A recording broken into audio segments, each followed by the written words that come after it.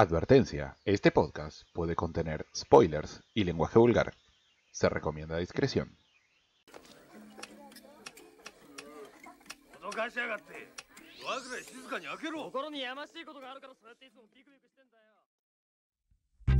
I'm sorry, I'm sorry uh, I got to thinking that you're uh,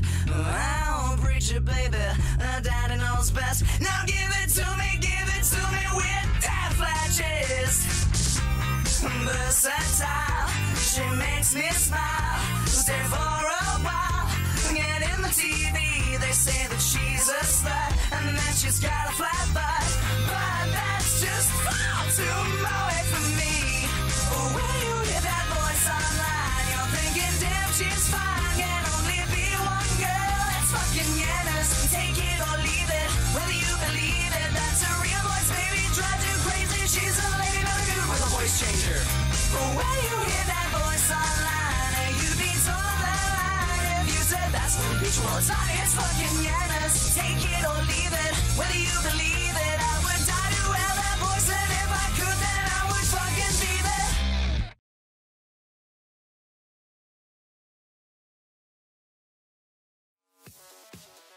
Bienvenidos a Dado Fractal, el podcast que te propone bajarte del tren del hype para repasar esos animes de los que ya nadie habla. Estoy, como to- en todos los episodios, con mis compañeros. Buenas noches, KM. Hola, ¿cómo le va? ¿Por qué yo primero? Me llamó Ah, la atención. ¿Por qué siempre lo presento primero a Hugo? Buenas noches, Hugo. Porque. Buenas noches, ¿ves? Ya me quiere sacar de acá, boludo. No, ya no me la tiene en consideración. de acá, ¿no? Hacemos sí, sí. una suerte de. Estoy ofendido. Vamos randomizando, ¿viste? ¿Qué sé yo? ¿Por qué no presentarlo siempre primero Hugo? Yo no sé, Ah, saludos. buenísimo. Buenísimo, buenísimo. Hola, ¿cómo le va? ¿Todo Ah, bien? sí, todo muy ¿Todo bien. liso en la vida? Todo liso. Saco una seda y armo churrasco. Eh, sí, todo liso, poniéndome, tratando de cerrar eh, los animes que estaba viendo la cuarentena. esta temporada. ¿Cómo cerrar? No, tratando, tratando, trata- tratando de cerrar los animes de esta temporada porque la temporada se va terminando y tengo un montón de cosas pendientes que todavía no he terminado de ver. Entonces, de a Vamos a poquito. hablar de, de esta temporada, la cuestión de expectativas o cosas así por el estilo. Eh, expectativas no tenías muchas, en realidad. Mm. Al menos por mi parte, ¿Y ¿no? Y, y ya, ¿cuánto cerraste de todas estas series que Eh, y no cerré tantas. A ver, yo te digo. Eh, cerré em, arte. Bueno, eh, Ghost in the Shell, que le- la había cerrado hace un montón. Eh, Kakushigoto y Listeners. Ah, qué poronga que fue Listeners. Ah, ¿Y por qué mierda la No, no me digas. o sea, No, no me nah, digas. a mí no me gustó, qué sé yo. Empezamos Aguante breca C, mi papá. Ah, O sea, está bien, pero es, es del montón. viste, Mm, qué mal. Yo tenía razón. Eh, Creo arte, que una de las cosas que más le, creo que una de las cosas que más le cagó eso fue los diseños de los mechas. Ahí la Ah, sí. Los diseños de los mechas son malísimos.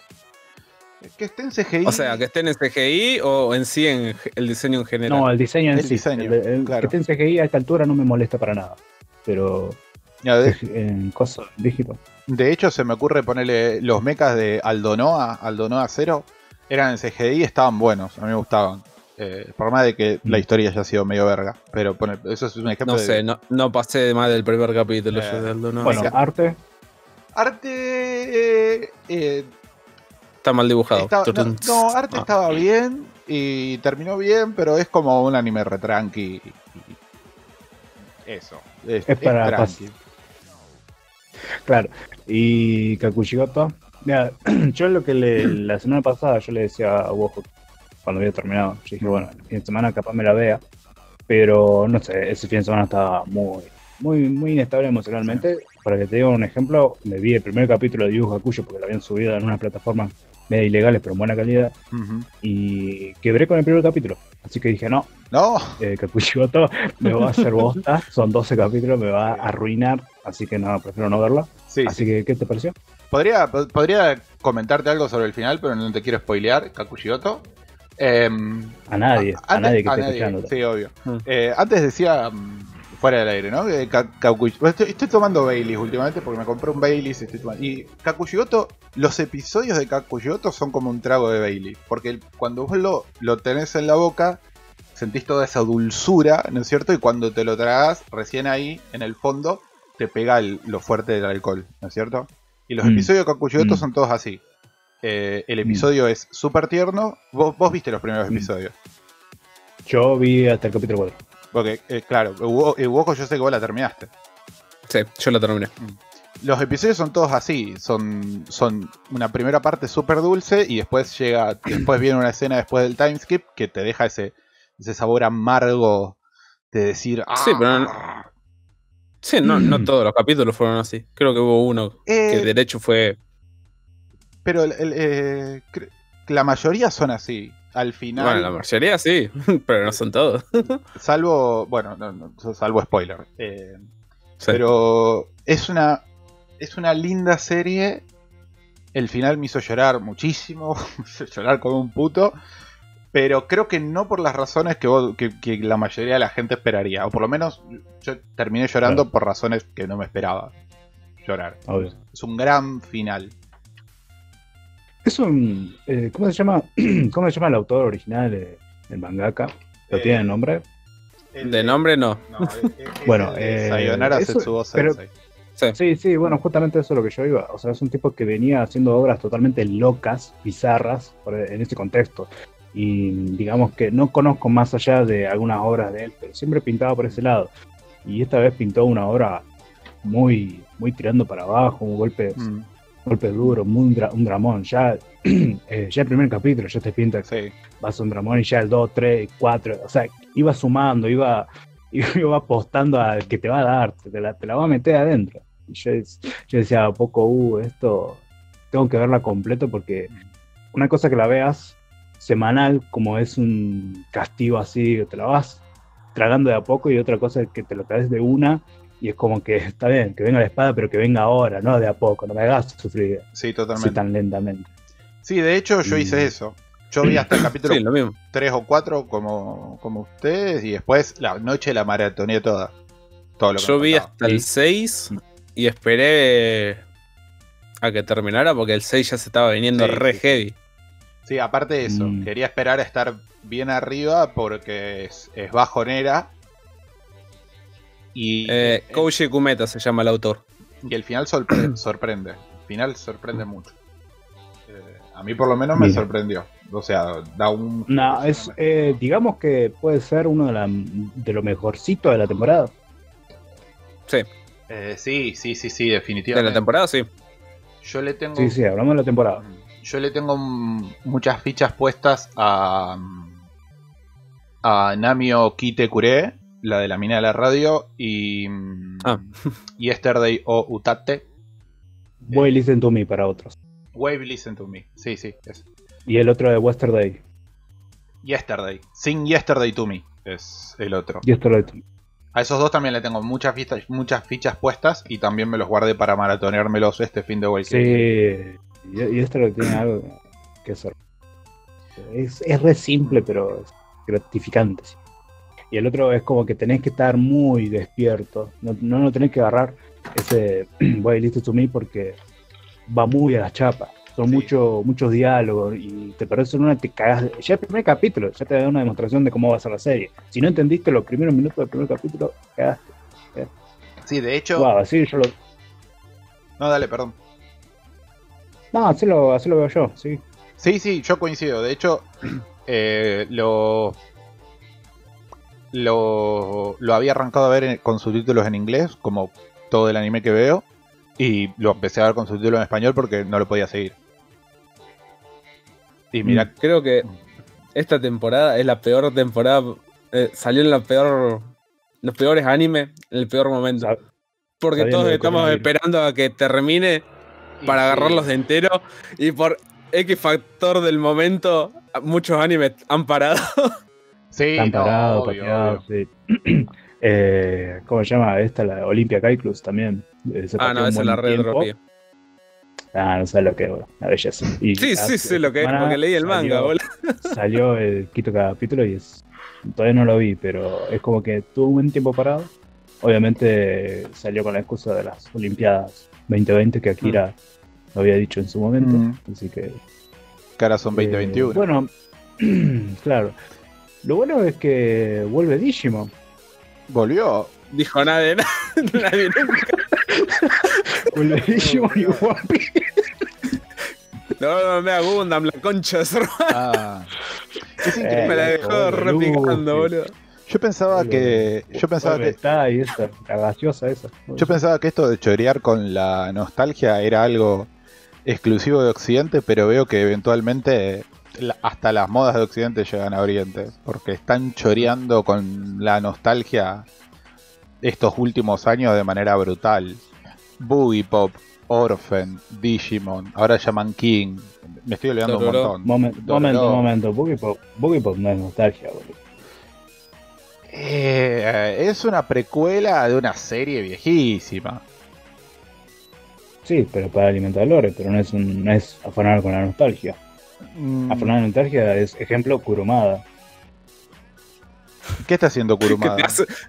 Las 12 casas. ¿Otra Está vez? haciendo las 12 casas 8000 de veces y está No. haciendo ahora lo, lo ¿cómo se llama? Bah, Next Dimension, ese que la sigue pateando de, de primer tomo Las que había 12 sacado- casas, boludo. Bueno, eh, el primer tomo que había sacado eh, en Ibrea, ¿qué- ¿cuánto Mm. fue? El momento que se estaba publicando. Se estaba publicando allá, recopilaron cierta cantidad de capítulos para llegar a un tomo. Acá, al momento, vino el primer tomo de Next Dimension. ¿Cuánto pasaron para el siguiente? Y después el siguiente y el siguiente. Encima, recién me doy cuenta que van nueve tomos. Van Y 9 eso tomos nueve y, las, y hasta donde tengo entendido la historia no va ni por la mitad. Y van 10 años, 10 años, nueve tomos. Y al tipo le funcionó y sigue currando con eso. Es increíble que le den tanto tiempo. Porque, o sea, vos está bien, qué sé yo. Hace poco sacaron el videojuego, no sé. Igual, eso más que un choreo con la nostalgia, yo lo catalogo como franquicia. Ya. Es choreo ¿Cómo, nivel. Es choreo Ah, nivel choreo. franquicia, no choreo nivel nostalgia.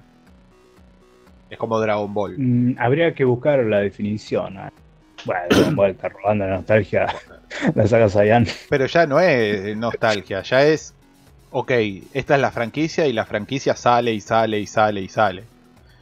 Y siempre vas a tener algo de la franquicia dando vuelta. O un videojuego, o un. O un anime nuevo, o un spin-off, o un manga, o lo que sea.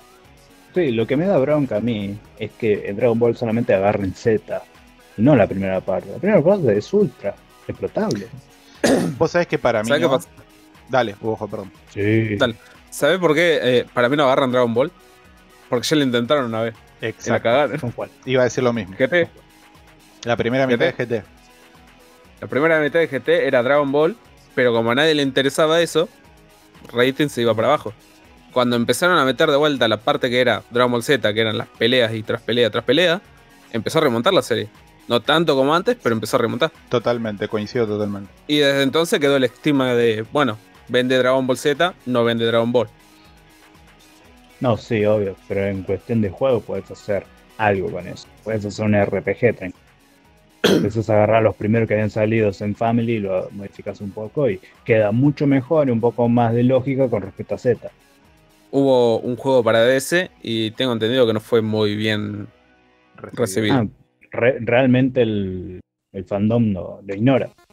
Sea, Y es una lástima. está ahí, está ahí, es medianamente bueno, pero nadie te lo va a recomendar. Sí, a muy fanático tenés que ser, me parece, para que te lo recomiende. Ah, yo no soy muy yo no soy muy fanático de Dragon Ball.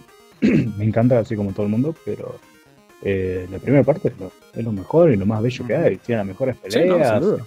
tiene la super lógica, eh, un montón de personajes ultra explotables. La patrulla roja es, es una de las mejores cosas que le pasó y toda la historia es re, re nazi, pero es, es hermoso.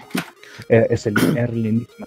Che, cambiando de tema, de franquicia de A cosas así. eh, ya que viene este año un poco medio cargadito para el próximo título, no sé si es este año, finales de este año o el año que viene, eh, con respecto a Shingeki.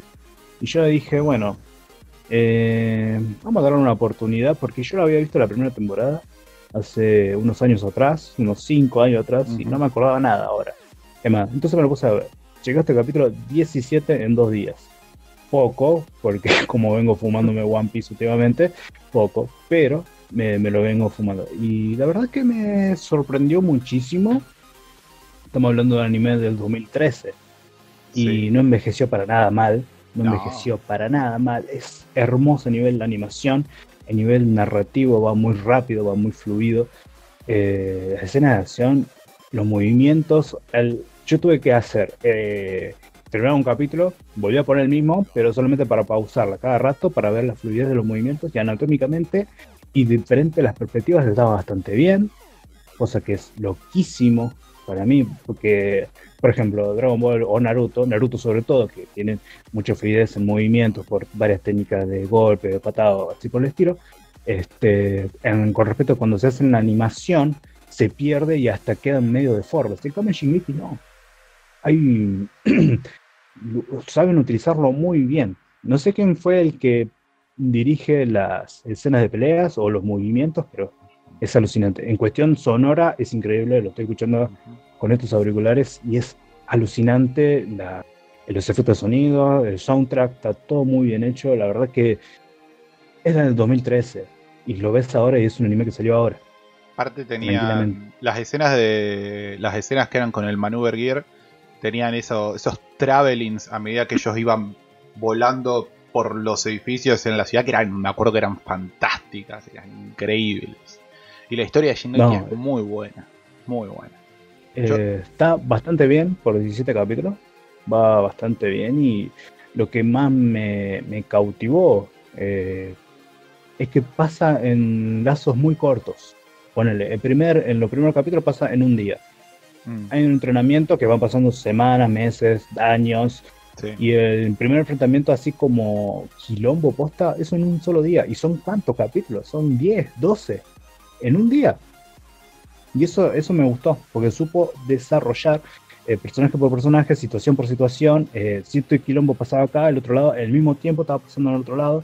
Y eso como que lo va, va equilibrando los sucesos y todo va en, en cadena. Y es increíble. Es más, yo me sorprendí muchísimo viendo el primero o el segundo, no me acuerdo, que yo dije, bueno, entraron los titanes, el corazón rompió la muralla, todo, y yo digo, estaba mirando así y veo que entra otro, y decía, ¿el acorazado ahora? ¿No parecían unos capítulos más adelante? Tenía esa, esa idea yo. Claro. Y ya, y ya entraba el corazado, y yo, para un poco, o sea, la serie va así. Me, me sorprendió, me sorprendió y fue una grata sorpresa para mí nuevamente, porque yo no me acuerdo nada la primera vez que lo había visto. Y dije, bueno, qué hermosa serie. La verdad que entiendo que haya una comunidad y gente que, que lo disfrute. Es una, gran, una linda serie. Es una linda serie. Yo la abandoné en la. al final de la segunda temporada. La tercera temporada no la vi. La tercera temporada salió en dos partes, me parece. Creo que fue la primera que salió en dos partes. Eh, pero seguí Mm. leyendo el manga y. El manga también es increíble. Y eh, tiene. Ah, lees manga. Leo manga, sí, sí, sí. Muy poquito. Ah, este lee manga ahora. ¿En qué momento? Muy poquito, pero. Sí, muy, muy poquito, pero. Pero un poquito leo. Mm. Y es fantástico. Se, se Bueno, va yo el meme hacer- del perro. Sí. En Yo voy a hacer la entrequistro. Eh, no me gusta Shingeki. eh, está bien. Tanto anime como manga no me gusta. El anime es de Madhouse, me parece. Si no mal recuerdo. Y es impresionante. Y Shingeki es la serie. me- si no mal recuerdo, Shingeki es la serie con la que yo descubrí a Hiroyuki Sawano, el compositor. Que es Mm. increíble. El chabón todo lo que hace es fantástico. Todo lo que hace es fantástico. Eh, me encanta. Fantástico. Mm. Aunque no me gusta tanto Linked Horizon, que es la, la banda que hace el opening. O sea, está bien, pero es como que todos los openings son iguales, chabón, dale. Eh, pero No, boludo, sí, Sasageo. Sasageo, sí. Es un desastre. No, los openings son una. gustan. Dato, dato, dato curioso. eh, hay un disco. No me acuerdo si es un disco o son un- una serie de singles de Épica, la banda de mm, Symphonic Metal, una banda que a mí me gusta mucho, eh, donde cantan los temas de Shingeki oficial, ¿no? Eh, y está bastante bien. O sea, las traducciones no son lo mejor, pero escuchar a Simone Simmons es. Ah, cantando los temas de Shingeki, ¿no? Y Sí, sí, pero te, te silenciaste de golpe por eso. Ah, Te pero- quedaste callado. Pero fue como un corte seco, como que le pegaste el cable. Loco, está bien, nosotros Ah. nos vemos, pero la gente no. Por ahora no, así que sé más fluido. ah, perdón. fue perdón, literalmente perdón. un. Así, así Ah, fue. mirá. Sí, No, no, no. sí, estás Rarísimo. marcando el tempo. No, no, no, no sé qué onda. Eh, no sé por qué a veces tengo esos fallos de sonido. Igual el OBS me toma a- el audio del mix. que, Hijo de puta. Bueno, eh, No, porque el OBS me toma y es lo importante. Ustedes cáguense. No, bueno, boludo. Usted Bien. los toma a través de Discord. De, a detalles técnicos, eh, no, no viene al caso. Hagamos un podcast donde los integrantes no pueden discutir entre ellos. En donde cada uno habla. es un bullizo que. Vos sabés, la otra semana me comí un choripán y el, y el otro estaba, no, ayer vi el anime este. Y el otro dijo, no, me gasté 500, 500 lucas en una figura de Madoka. Me- Y ninguno se escuchaba Eso- entre eso- ellos. Eso de gastar plata, eso, eso no se dice, güey. me viene a la. Me viene a La la. re ca- encantaría tener 500 lucas. sí, me viene a la cabeza, no voy a dar nombres porque no viene al caso. Eh, Pero con. Ah, una entrevista, una entrevista que vi hace poco de un político y un periodista, donde era literalmente Uh. el show de los sordos, boludo. O sea, el, el flaco le hacía una pregunta al poli- el periodista le hacía una pregunta al político, el político contestaba lo que quería, el flaco volvía a preguntar, el otro contestaba algo que nada que ver. Era, era muy, fue muy violento. Eh, Dígame cómo se llama. después de eso, no, no quiero, no quiero meter política. Después, si querés Bueno. fuera del aire, te digo. Está bien, está perfecto. arrancamos Bueno, con el tema principal porque. Y sí, Justamente eso. Sí, sí, sí, metamos separador y ya volvemos.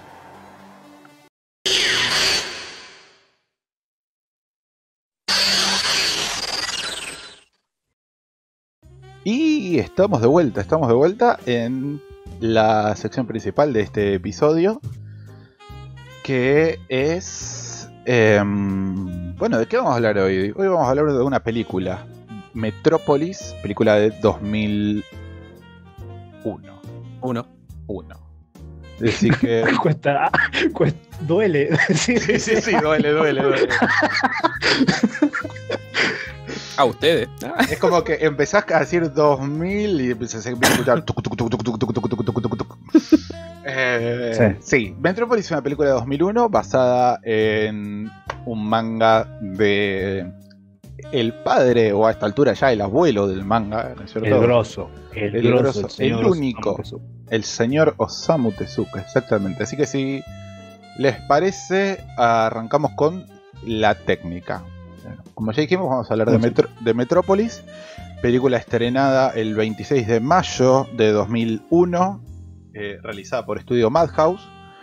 Eh, Estudio Madhouse tiene una es, es un estudio re prolífico, tiene un montón de cosas. Yo lo que hago en la técnica es. En la técnica puse solamente 5 películas. Y puse solo películas en Madhouse. Porque estamos hablando de una película, justamente. Eh, Sí, dejémoslo para la otro. Sí. eh, con otra serie. Y 5 películas que deberían ver, quizás, a nuestros queridos oyentes, ¿no? Estas son las cinco películas. 5 películas de Madhouse. puesto número que 5. deberías ver. Em, bien, em, las cinco películas son Hadashi no Gen o Barefoot Gen o Gen Pies Descalzos, que es un peliculón sobre las bombas atómicas, es genial, es de una peli de 1983, es fantástica. ah, sí, ya sé cuál es. Eh, Oh, sí. Que tiene, es- que tiene varias, ¿no? No, eh, sí, hay una segunda, pero la segunda es cualquier cosa. Ah, La segunda, la, vean la primera porque es increíble. Sí, Eh, igual la escena, esa, esa escena de la bomba es al principio. Sí, sí, sí, es, el- y es re bizarra, boludo. Es loquísima, es loquísima a nivel de animación y después todo lo que. O Sí. sea, disfrutar esa escena porque después lo que viene es puro golpe bajo. Sí, sí, sí. Eh, es una película sobre la bomba atómica de, muy, muy japonesa, ¿no? Muy desde el punto de vista de, de quien Sobre recibe, la bomba, ¿no? ¿no? Del suceso. Claro.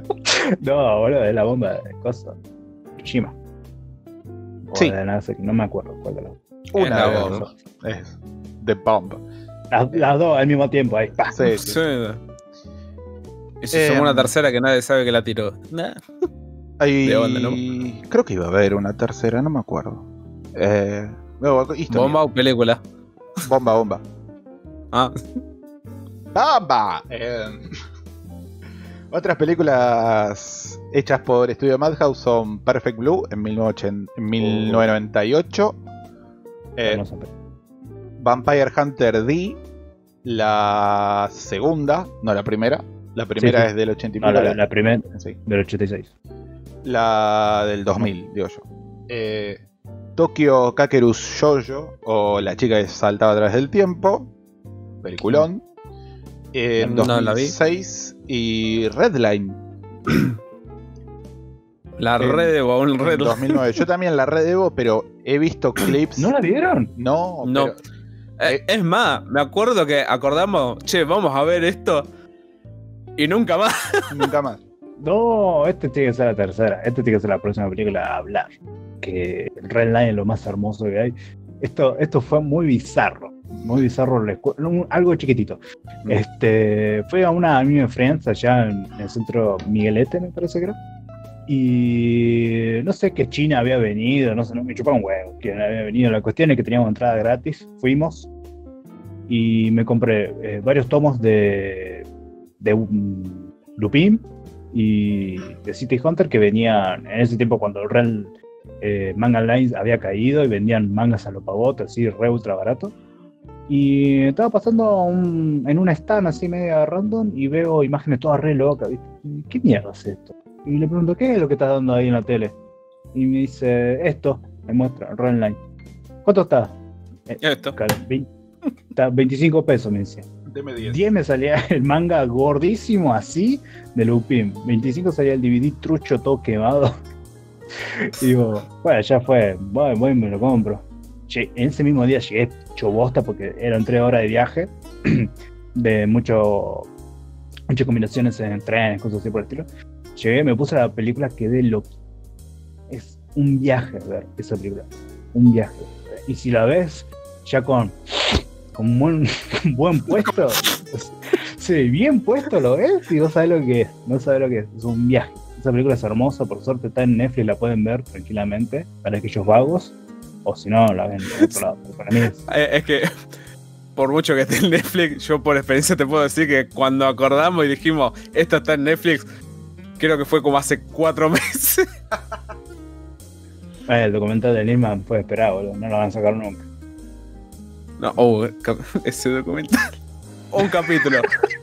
Un capítulo y Un los primeros cinco minutos, primeros cinco minutos, perdió toda seriedad para nosotros. No. Un capítulo y, y estamos abrazando al diablo, boludo. Nos fuimos al re infierno.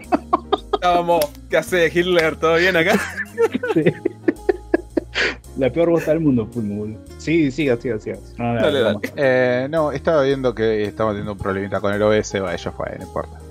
Em, bien, eh, como dijimos, esto es un... Ahora después veo cómo lo arreglo. Eh, como dijimos... ¿Estamos grabando? Sí, sí, sí, estamos grabando, obviamente. Eh, sí, pero no sale el logo. Eh, después vemos cómo lo lo arreglo o lo pongo en postproducción. Se cancela o- el programa. Chau, chicos. qué Te voy a decir. ¿no? Dale, dale, vemos, dale, dale. que no- Dale, demos. Te preocupate, dale. Eh, bien, eh, como dijimos, es un es una película basada en un manga de Osamu Tezuka, creador también de miles de cosas. Acá te nombro cinco y las fechas son las fechas de estreno de los mangas porque cada obra tiene chotomil adaptaciones. Sí, varias adaptaciones. Sí, eh, no Kishi o La Princesa Caballero de 1953. Hermoso. 1953, eh, de, de lo que estamos hablando. Mira el empode- Eh, empoderamiento. Eh, Younger Taitei o, como todos la conocimos en nuestra infancia, Kimba el León Blanco, No, Rey León. eh, Astro Boy en 1952, eh, Dororo en 1967 y Blackjack en 1973. Miren las fechas, boludo. Es impresionante. Es una No, locura. clásico. Ya, ya, eh, ya, mira. Black Jack es, es increíble, boludo. El Black Jack es increíble, recontra adulto para la época. Eh, yo busco más ahí. y me salen juegos de cartas, ¿qué onda? Eh. Y No. eh, el Seinen de ahora, hoy en día, y decís, ah, qué, qué- qué suave que sonaba. Black Jack siempre fue re crudísimo. Para- teniendo en cuenta para la época que salió. Me acuerdo ver, creo que fue la primera adaptación animada que tuvo de Blackjack, la de la isla donde todo el mundo se estaba muriendo de sed. No, ni idea. No sé cuánto de ustedes. Ok. Hay una escena donde. Va, voy a tirar spoiler porque ya es re viejo, así que. Para salvar a. mm, sí. Eh, para salvar a toda esa isla que por X enfermedad se, se están cagando de sed porque no pueden absorber el agua. La única cura que tienen, la única forma de encontrar una cura que tienen es abrir a un flaco sin sedante, estando vivo, y empezar a revisarle los órganos. Y en ese OVA te muestran cómo abren el flaco. Ah, Tranqui 120. Sí, sí. Te, onda, te lo censuran un poco, pero aún así no quita el hecho que vos ves al flaco medio tapado, pero sabiendo que le están cortando adentro y cuando abren así, Mm. te lo tapa con X cosas. No voy a decir con qué. Pero se nota que está recontraabierto el tipo. Bueno, seguimos. Y decir la verdad, Pipa. Eh, seguimos. Eh, la película está dirigida por Rintaro, eh, un chabón que yo la verdad no lo tenía, pero ha dirigido, entre otras muchas cosas, eh, Capitán Harlock en 1978 y varias de sus películas spin-off. Eh, la, primera parte de Neo Tokyo, Neo Tokyo son como tres eh, cortos, entre comillas. En 19 y él dirigió la primera parte en 1987. Eh, Teito Monogatari o Megalopolis o Doom Megalopolis en 1991, que es una locura, es un desquicio total. X en 1996, creo que es la primera. La película. Sí, pero me- no me acuerdo si es la primera o la segunda, creo que es la primera. Eh, no, la única que hay. no, hay dos. Eh, adaptación del manga de Clan eh, y Ah, Alexander sí, hay dos. Hay dos, pero, pero la primera es la película. Mm. Y hasta ahí estamos. El guion, en este caso, eh, estuvo a cargo de otra de las grandes leyendas del anime, Katsuhiro El maestro. Otomo, otro de los El maestro. grosos. Eh, conocido por obras como. Akira, creador y director, en, o sea, es creador y director de Akira en 1998, creador y, y director de eh, las tres películas de Memories en el 95, Roshin Z en el 91, que fue una película que vimos, eh, que vimos juntos, que es hermosa, preciosa, divina. Eh, Steamboy en 2004, también, creador y director. Y Bukio Saraba, que son es esa película que son cinco cortos, que también la vimos juntos, Sí, me acuerdo, en 2013. Mm. Eh, él había dirigido, o sea, si bien él es, estuvo a cargo de todo el proyecto, dirigió el último, Bukio Saraba, y el tercero me parece que era, el que era en el en Edo, el de los bomberos. Y No, muy, muy lindo. Además, Otomo había hecho eh, Freedom, esa serie de 10 ovas, que para mí fue lo primero que se animó en CGI, eh, todo completamente CGI. Últimamente Netflix viene robando con cada serie que estrena, es, eh, todo en CGI. Bueno, este lo había hecho hace unos muchos años atrás. Sí, bueno, sobre eso, ya está, lo tiro ahora. Yo en su momento dije, en Podcast por 2P, cuando en una de las retrospectivas, dije que eh, Ufotable era el primer estudio en combinar bien la animación tradicional o digital, digamos, y el CGI. Y después vi esta película y dije, no, me retracto totalmente, porque esta película combina CGI y animación, sí, tradicional, eh, de manera in- increíble. Pero aguante que termino con la técnica. El último punto de la técnica es la música, que la música es increíble, es una oda a el jazz de los 50. Eh, y estuvo a cargo de Toshiyuki Honda. Toshi- eh, Toshiyuki Honda es un chabón que no tiene prácticamente participación en banda de sonido de anime. Eh, hasta donde puedo encontrar, encontré dos. Uno es esta película y el otro es eh, Andarushia no Natsu, es, que es una película de 2003. Pero es el creador de la banda de sonido de eh, A Taxing Woman, que es una película que a mí me había recomendado Calavero hace mil años, que es una especie de eh, Quentin Tarantino japonés, así tipo super violenta. Gunhead, que es una película de mm, ciencia ficción japonesa, y Rebellion de Killing Island. Son películas no de anime, pero me gustó tanto la banda de sonido que quise nombrarlas. Eh, La tapa de Gunhead es, es un viaje, boludo. Sí, mal, boludo. Los tres chabones ahí con los chumos y un meca atrás, boludo. ¿Sabes lo que es eso, no? En el 83. Que según Una belleza pura. que acá arriesgo, arriesgo terriblemente, pero para mí Gunhead, el personaje de de Boku no Hero Academia está inspirado en esa película porque el diseño el diseño del héroe es muy parecido al diseño del mecha de. Héroe. Hay un héroe en super secundario en Boku no Hero que se llama Gunhead. Como siempre. Eh, sí, como todos los héroes que no son Deku, digamos. Básicamente. Como todos los personajes que tienen que brillar no brillan. Y el que brilla mucho, le sacamos el poder. ¡No! ¡No! Pobre Tintín. Durísimo, Tintín. pobre Tintín. Pobre Tintín. Em, y dicho todo esto, hoy no hay sinopsis porque nadie le buscó. Así que, Paja. Paja película. me- casi me olvido. Película, película. Em, Vale. Bueno, lo- lo- eh, quizás a lo mejor es un buen punto para arrancar. Esto que les decía antes, que es increíble cómo combina el CGI con la animación tradicional.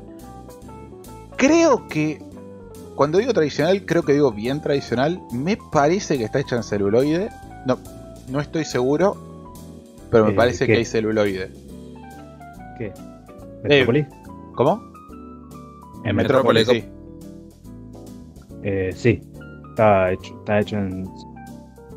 Eh, Te, lo confirmo porque en el 2004, cuando se estrenó la otra película de Otomo, fue Steamboy, estuvo 10 años haciéndose esa Steamboy. O sea, había terminado eh, Akira y después había alargado con Steamboy, pero nadie le daba, le daba guita por la idea de dentro de lo que es steampunk. Entonces buscaba hacer otros proyectos en los que le podía dar poco de plata para, o sea, hacía películas buenas, produ- productos muy lindos, para generar una, un poco más de ganancia para hacer Steamboy. Esa, dato, esa data la sé por el DVD.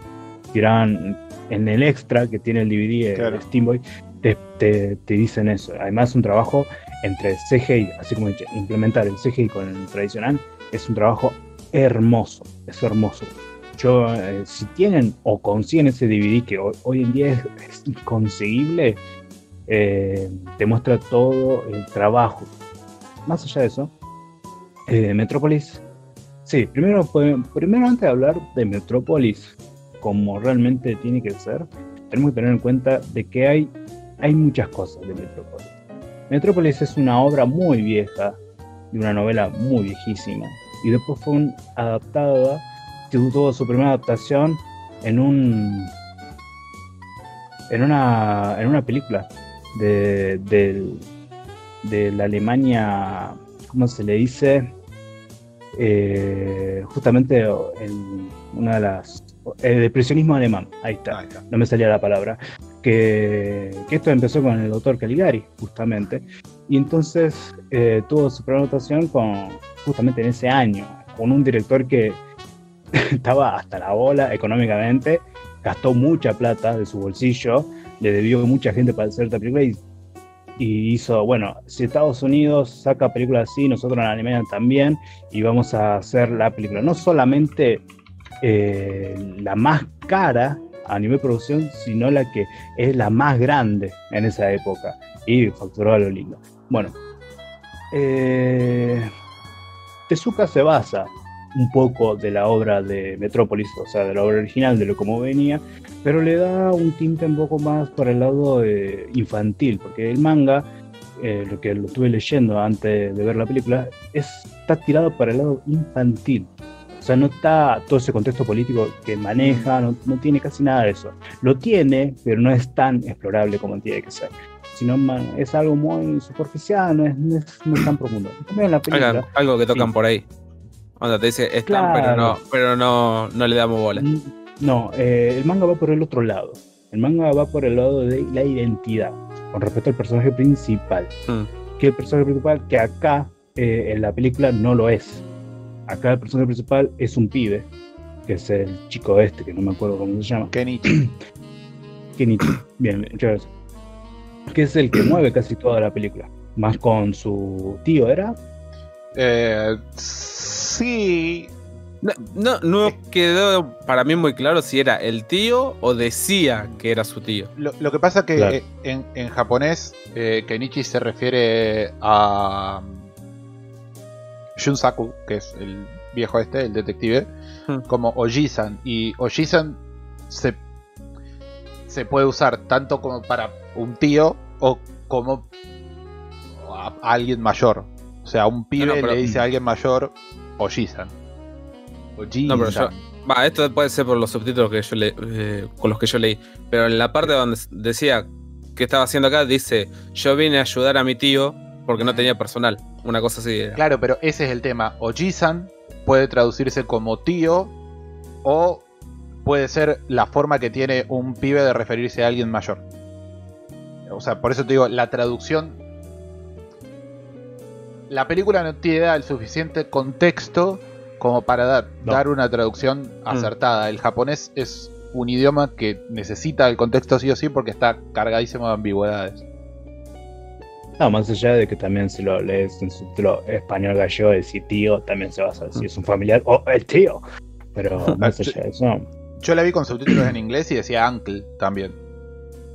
Eh, o sea, tío. el tío. Así que Chao. Tío. ponele que, El ponele tío. que sí.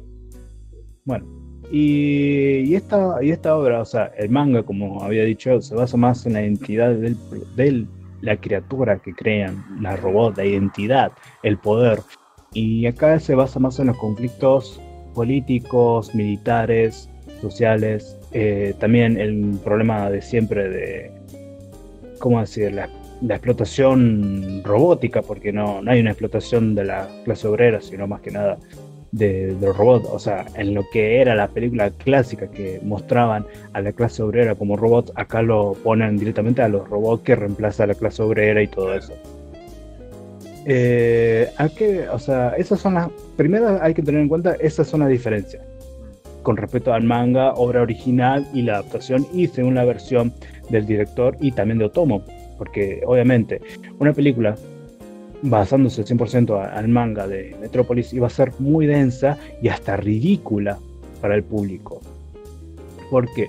Porque como tenía una mirada más inocente, más buscando la identidad y mostraba, otra, mostraba otro lado, y con el título que se llama Metrópolis, basándose en la ciudad, estamos hablando de, de Metrópolis, y no de la identidad de una chica. Entonces era como que buscaban otro lado, buscaban una identidad. Entonces en esta película buscaron la identidad, pero la hicieron para el orto. Lo que es la idea de la, de la nena con todo eso de, eh, ah, sí, eh, no sé qué soy, no sé si soy un robot, una humana, díganme qué es. Eh, nena, naciste el mismo día y el mismo día se fue toda la bosta a la ciudad. Y no puedes tener problemas de existencialismo en cuántas, en cuántas horas. En cambio, en el manga, ¿Cuántas horas? No, Pasan cuatro días. minutos. Sí, bueno, en el manga pasan días, meses, eh, tienen relaciones con unos chicos y todo eso, y, y esa es más justificada, em- tiene más sentido que tenga esos problemas de, de emo, por una manera de decirlo. Sí. Pero, pero más allá de eso, eh, ahí estuvo muy mal ejecutado. Lo que buscó Tomo fue quilombo, sangre, eh, 2001.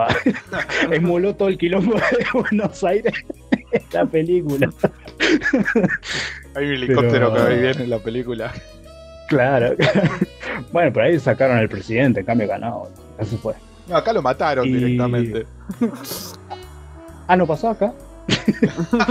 Estaría buenísimo. Ya no. Y. Ah, no un golpe de estado, así, re violento. No, todo, más allá de eso, todo buenísimo. La película ya de por sí te muestra de que va a ser ultra violenta. Diga, Ah, no, no, estoy tapando el coso. Me está bueno. quemando eh, los ojos. La película ya de por sí te muestra de que es ultra violenta.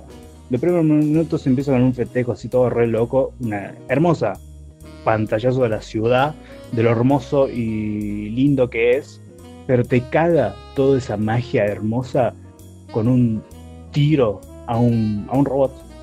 Aparece un robot muy mal herido, aparece la yuta, pa, balazo en la cabeza, lo tira.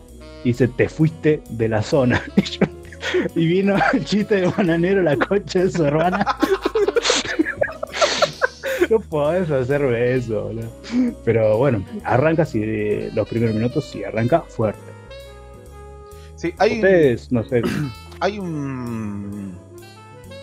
Hay algo que te quería comentar antes, eh, y es que no, no solamente trata el tema de la, de la explotación de la clase obrera, ¿no es cierto?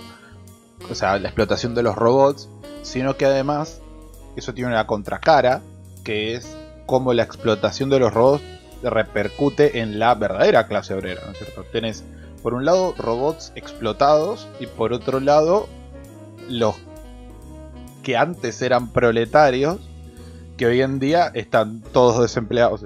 Tenés una gran mayoría desempleada justamente porque los robots le han quitado su, su trabajo.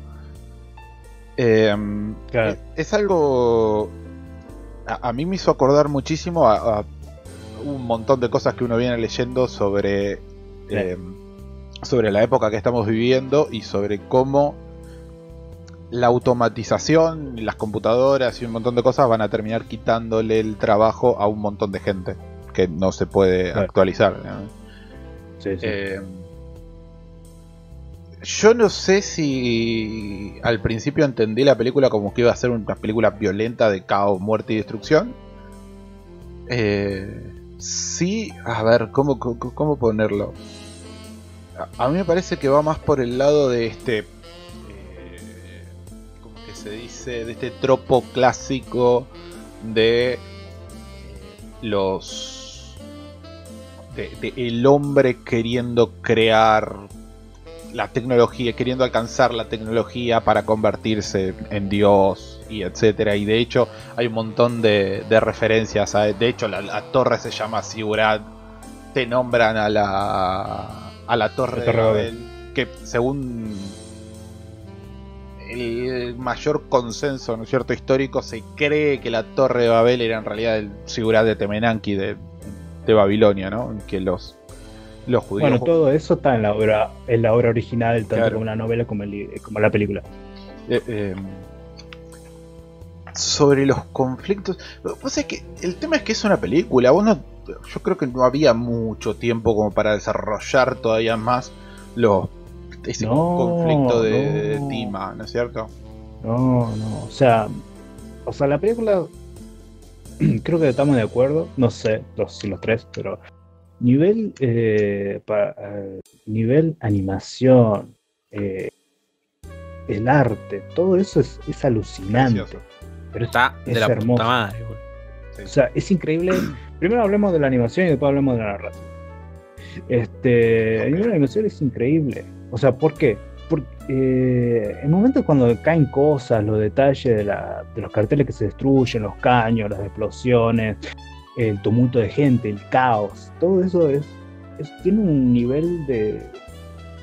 no sé, es, es astronómico porque no son muchas las películas que manejan ese, ese nivel de, ¿cómo decir? De, sobrecargar la pantalla de gente. Exacto. Sobrecargarlas. No, no O sea- solo sobrecargarla, Porque sobrecargarla te la puede hacer cualquier estudio. Pero animar cada uno de esos. Porque no va a haber uno que esté quieto sin hacer nada. No, al Siempre pedo. va a haber uno que esté haciendo algo. Lo- Ustedes ven las primeras escenas que están con gente y es como, o sea, que hay tanto tumulto, te pones a detener escena por escena y vos ves los extras que están en pleno movimiento. O sea, es muy típico de decir a lo bruto de Akira, muy, muy de esa onda, ¿viste? Hay una escena que hizo que la repitiera un poco. Que fue, si no mal recuerdo, eh, cuando el detective está con el otro detective robot. Que hacen un plano por arriba y bajan a, una- a un robot random a tiros. y vos no. ves a todos alrededor reaccionando al tiro, al tiroteo. Sí, Onda, están hablando así de lo más tranquilo, escuchan el tiroteo, se dan vuelta, miran, sí. miran qué pasa y después dicen, ah, cagaron un tiro a, a un robot y siguen como si nada. Es que Pero es todo si un nada. laburo que Sí. ningún otro estudio te lo hace ni por puta, boludo. No. Es que uno, uno de los puntos donde más se, se ve la calidad de una obra en cuestión de animación es en los paneos de multitudes. Cuando vos ves los paneos a las multitudes de Metrópolis, vos te das cuenta de que todos los tipos, o sea, que, que- que en la multitud tenés pibes, viejos, hombres, mujeres, y todos tienen un diseño, obviamente no es un diseño que, ah, super destaque, pero todos tienen un diseño Sí. único. Sencillo, Sí. pero único. Característico. Característico. y, No, ahí, muy característico. O y ahí te das cuenta el- dónde está la calidad.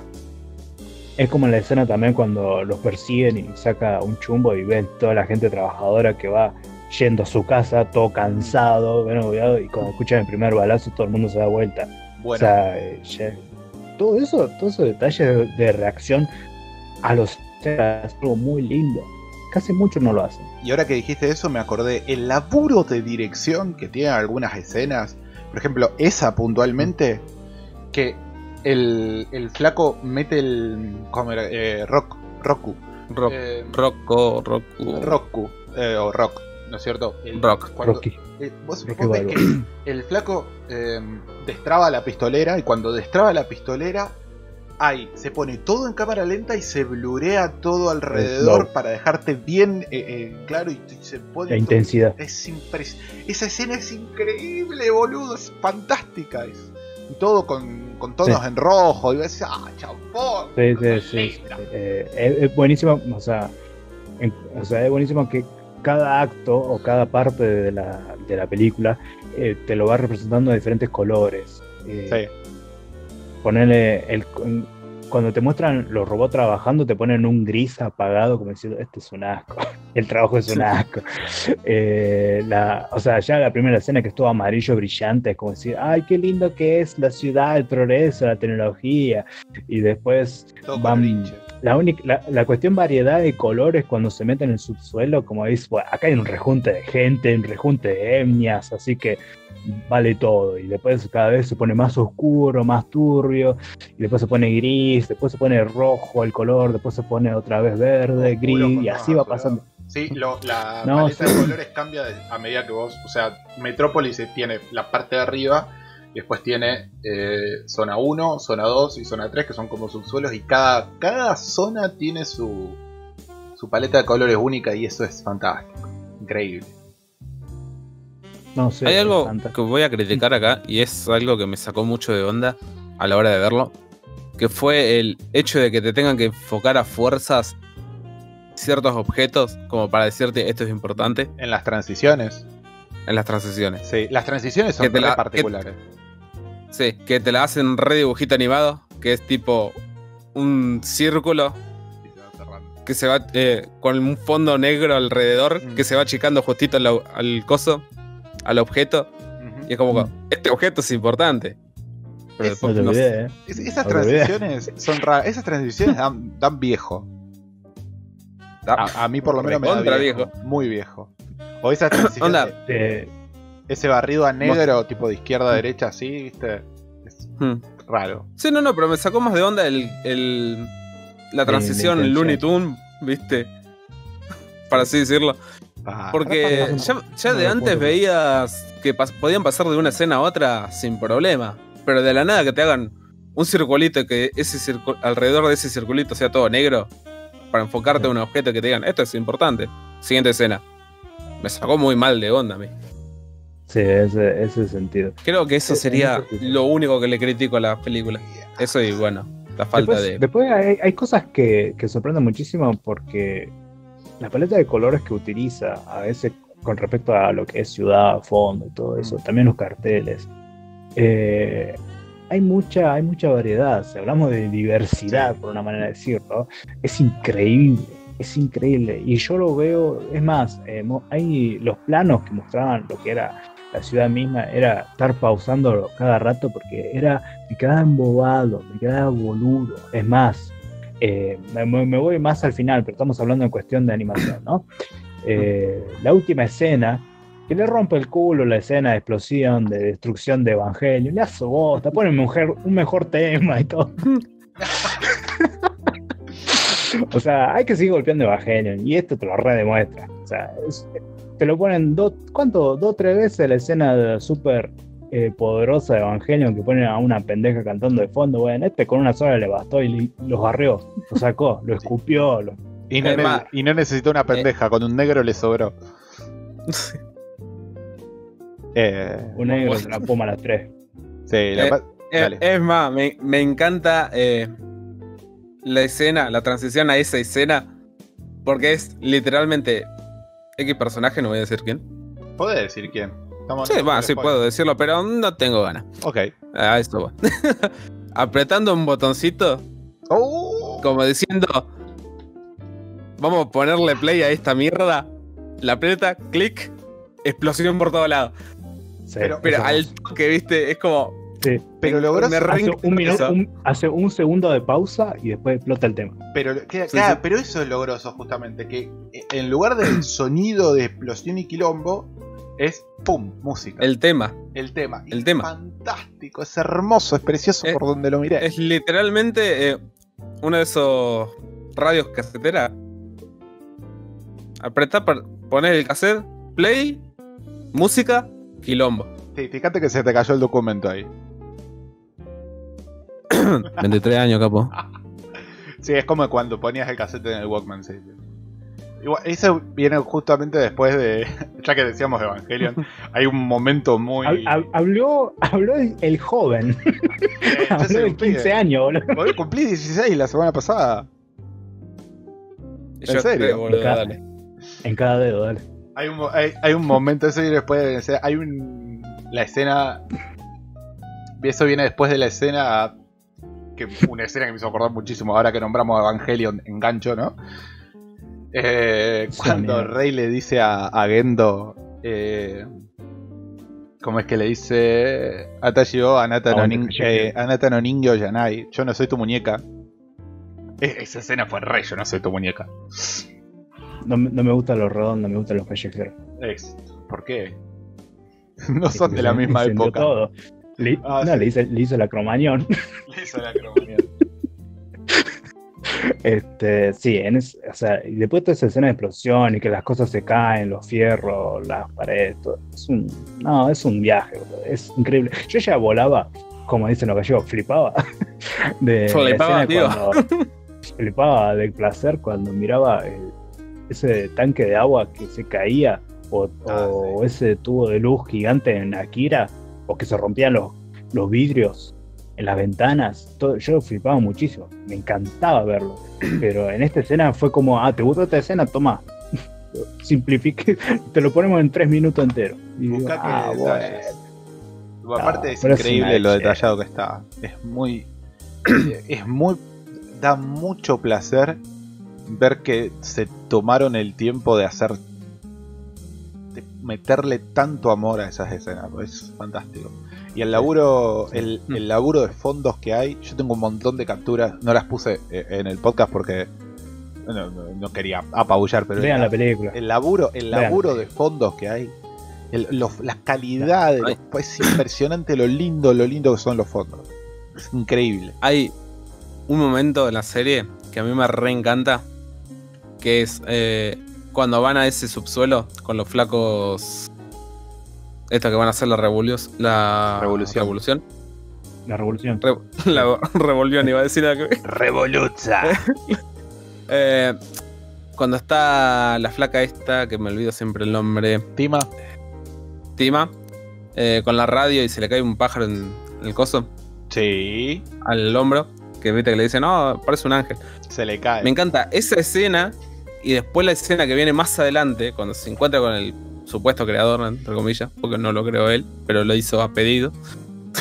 Sí, sí, sí. Que Lo eh, va la. eh, sí, se encargó este por eBay.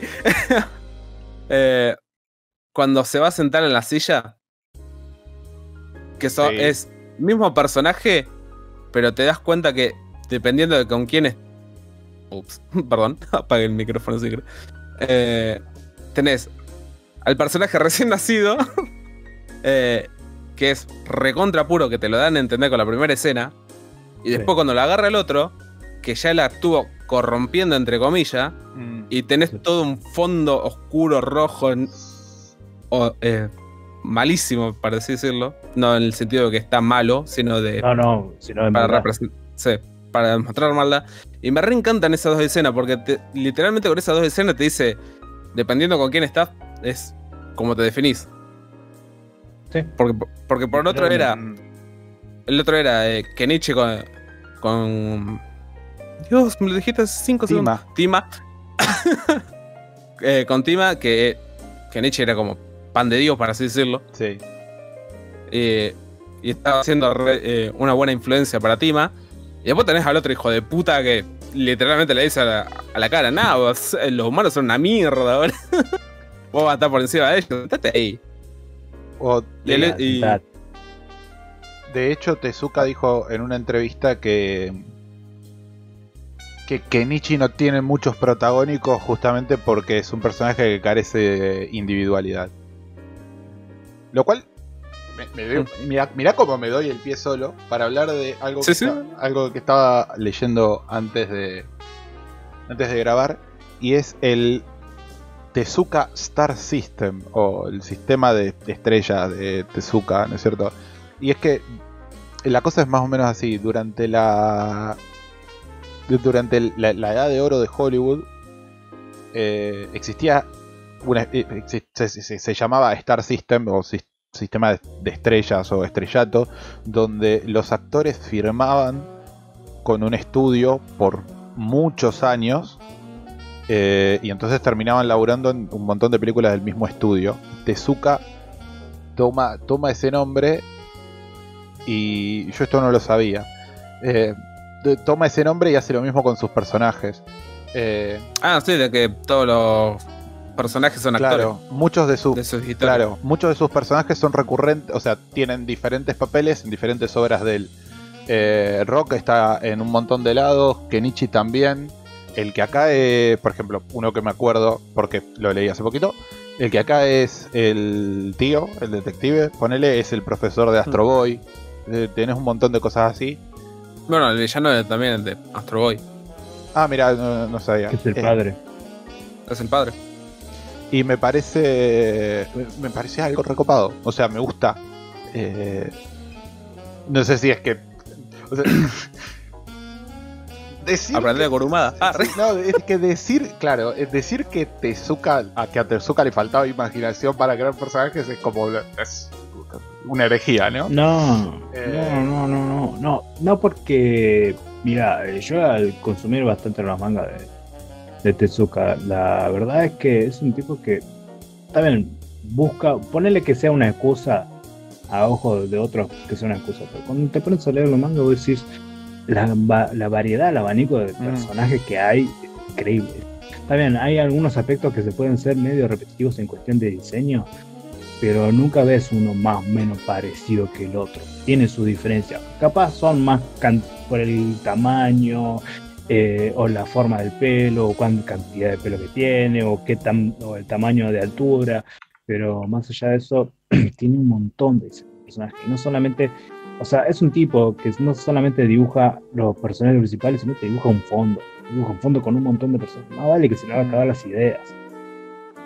Se le va a acabar la mano si hace eso. Sí, también. Claro, también. Pero, o sea, también hay muchos autores que hoy en día, así como le Fairy Tail o Saint Seiya, que fueron de lo mismo, y es como que, bueno, si le podemos perdonar a Tezuka, ponerle barra, entre muchas comillas, eh, su excusa, Yo no se lo que son perdono. actores, bueno. Bueno, como vos Tezuka. quieras, pelotudo. Como vos quieras, la ¿Temporada de mano? La cuestión es que la cuestión es que bueno eh, hay otras porque no podemos no sé perdonar la estupidez de Fairy el autor de Fairy Tail o el de, no. el de Kurumada si es exactamente lo mismo no sé Poner No, no, yo Kurumada no te puedo perdonar ni por puta, boludo. Fairy Tail, vaya y pase, pero Kurumada no. Kurumada, desde que su pico más grande fue las 12 casas, empezó a robar eso, pero Claro. cambiándole muy poquito. Fairy Tail, por creo lo menos. Hay una cuestión a de, dejar esta Tail, por lo menos, discusión en el- historia con los pero- mismos personajes, pero en el espacio, boludo. hay una cuestión de época también. O sea, antes Cierto, de- también hace las 12 casas 500 años atrás. Pero hace, ah, pero pará, antes leíamos, antes leíamos en la técnica, o sea, estamos hablando de que Tezuka empezó, lo- nombramos manga de Tezuka, estuvo activo entre el 50 y el 70, Sí, por ah. ahí, o sea, cuando decimos que es el padre, quizás el, el abuelo del manga, eh, no solamente es porque empezó allá no te hace mil eso. años, sino porque además el Tezuka eh, sienta las bases de lo que va a ser el manga y el anime a futuro. Define un estilo, define una estética que después un montón de gente va a adoptar y a remasterizar, no a remasterizar, eh, a, a- remixar en otros estilos, digamos. Eh, sí sí sí, de lo, sí, sí. lo mismo Claro. que hace Rumiko, por ejemplo. Rumiko Takahashi, ¿por qué, por qué es tan importante Rumiko Takahashi en la historia del anime? Bueno, porque ella define la, la- No sé si tanto la estética, pero sí el estilo narrativo de la comedia romántica moderna. Bueno, o sea, a ver, eh, lo que tiene, esto sale re, re fuera de off, off topic, pero lo que bueno Sí. es que podemos discutirlo ya de una. Este, Rumiko lo que tiene es que cuando ves un personaje vos sabes de qué serie es. Por más que vos decías, bueno, Sí. los diseños son más o menos parecidos, Mm. vos decís, bueno, Ranma es Ranma, Inuyasha es Inuyasha y punto. En cambio, te pongo un ejemplo, en Dragon Ball, Toriyama, eh, no sacó otra obra con el estilo ese, el estilo más de un Dragon Ball Z, no sacó otra obra que esté al mismo nivel que esa para decir, bueno, este personaje es de esta serie y este personaje es de esta serie. Te pongo un ejemplo, como Yu Yu Hakusho. O sea, Yu Yu Hakusho Hunter x Hunter, hay personajes que son más o menos parecidos, pero vos decís, no, este personaje es de Hunter x Hunter y este personaje es de Yu Yu Hakusho. O sea, se, se pueden ver la diferencia. Por más que sea el mismo dibujante, tiene el mismo estilo, los mismos ojos, la misma cara. Pero más o menos vos ves que este es de esta serie y este de la otra. En cambio, con Dragon Ball, para poner un ejemplo, no, sucede. Toriyama puede hacer ¿no? diseño de a, a lo que es Z en otra serie y va a decir, no, este es Goku, este es Goku. Y así, rompen las pelotas con eso y no, y no valoran el diseño clásico de, Dragon Ball, que es un poco más variado en cuestión de, monstruos, de robots y, de otros personajes, que, tiene más variedad que, que lo que es Z. Sí, Dragon Ball tiene más variedad de lo que es Z, pero para mí los diseños de Toriyama son todos. Son, o sea, no todos iguales, pero en, en estilo sí son todos iguales. O sea, ahí coincido. Cualquier, o sea, cualquier personaje de Dragon Quest podría haber aparecido en Dragon Ball, por ejemplo.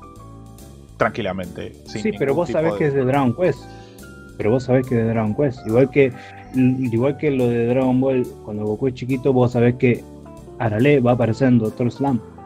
También Sí, ya sé que aparece en Dragon Ball, pero vos sabés que esos personajes es de Doctor Slam. No te van a aparecer en Dragon Ball. Por más que haga un crossover falopa. Yo no lo puedo ver.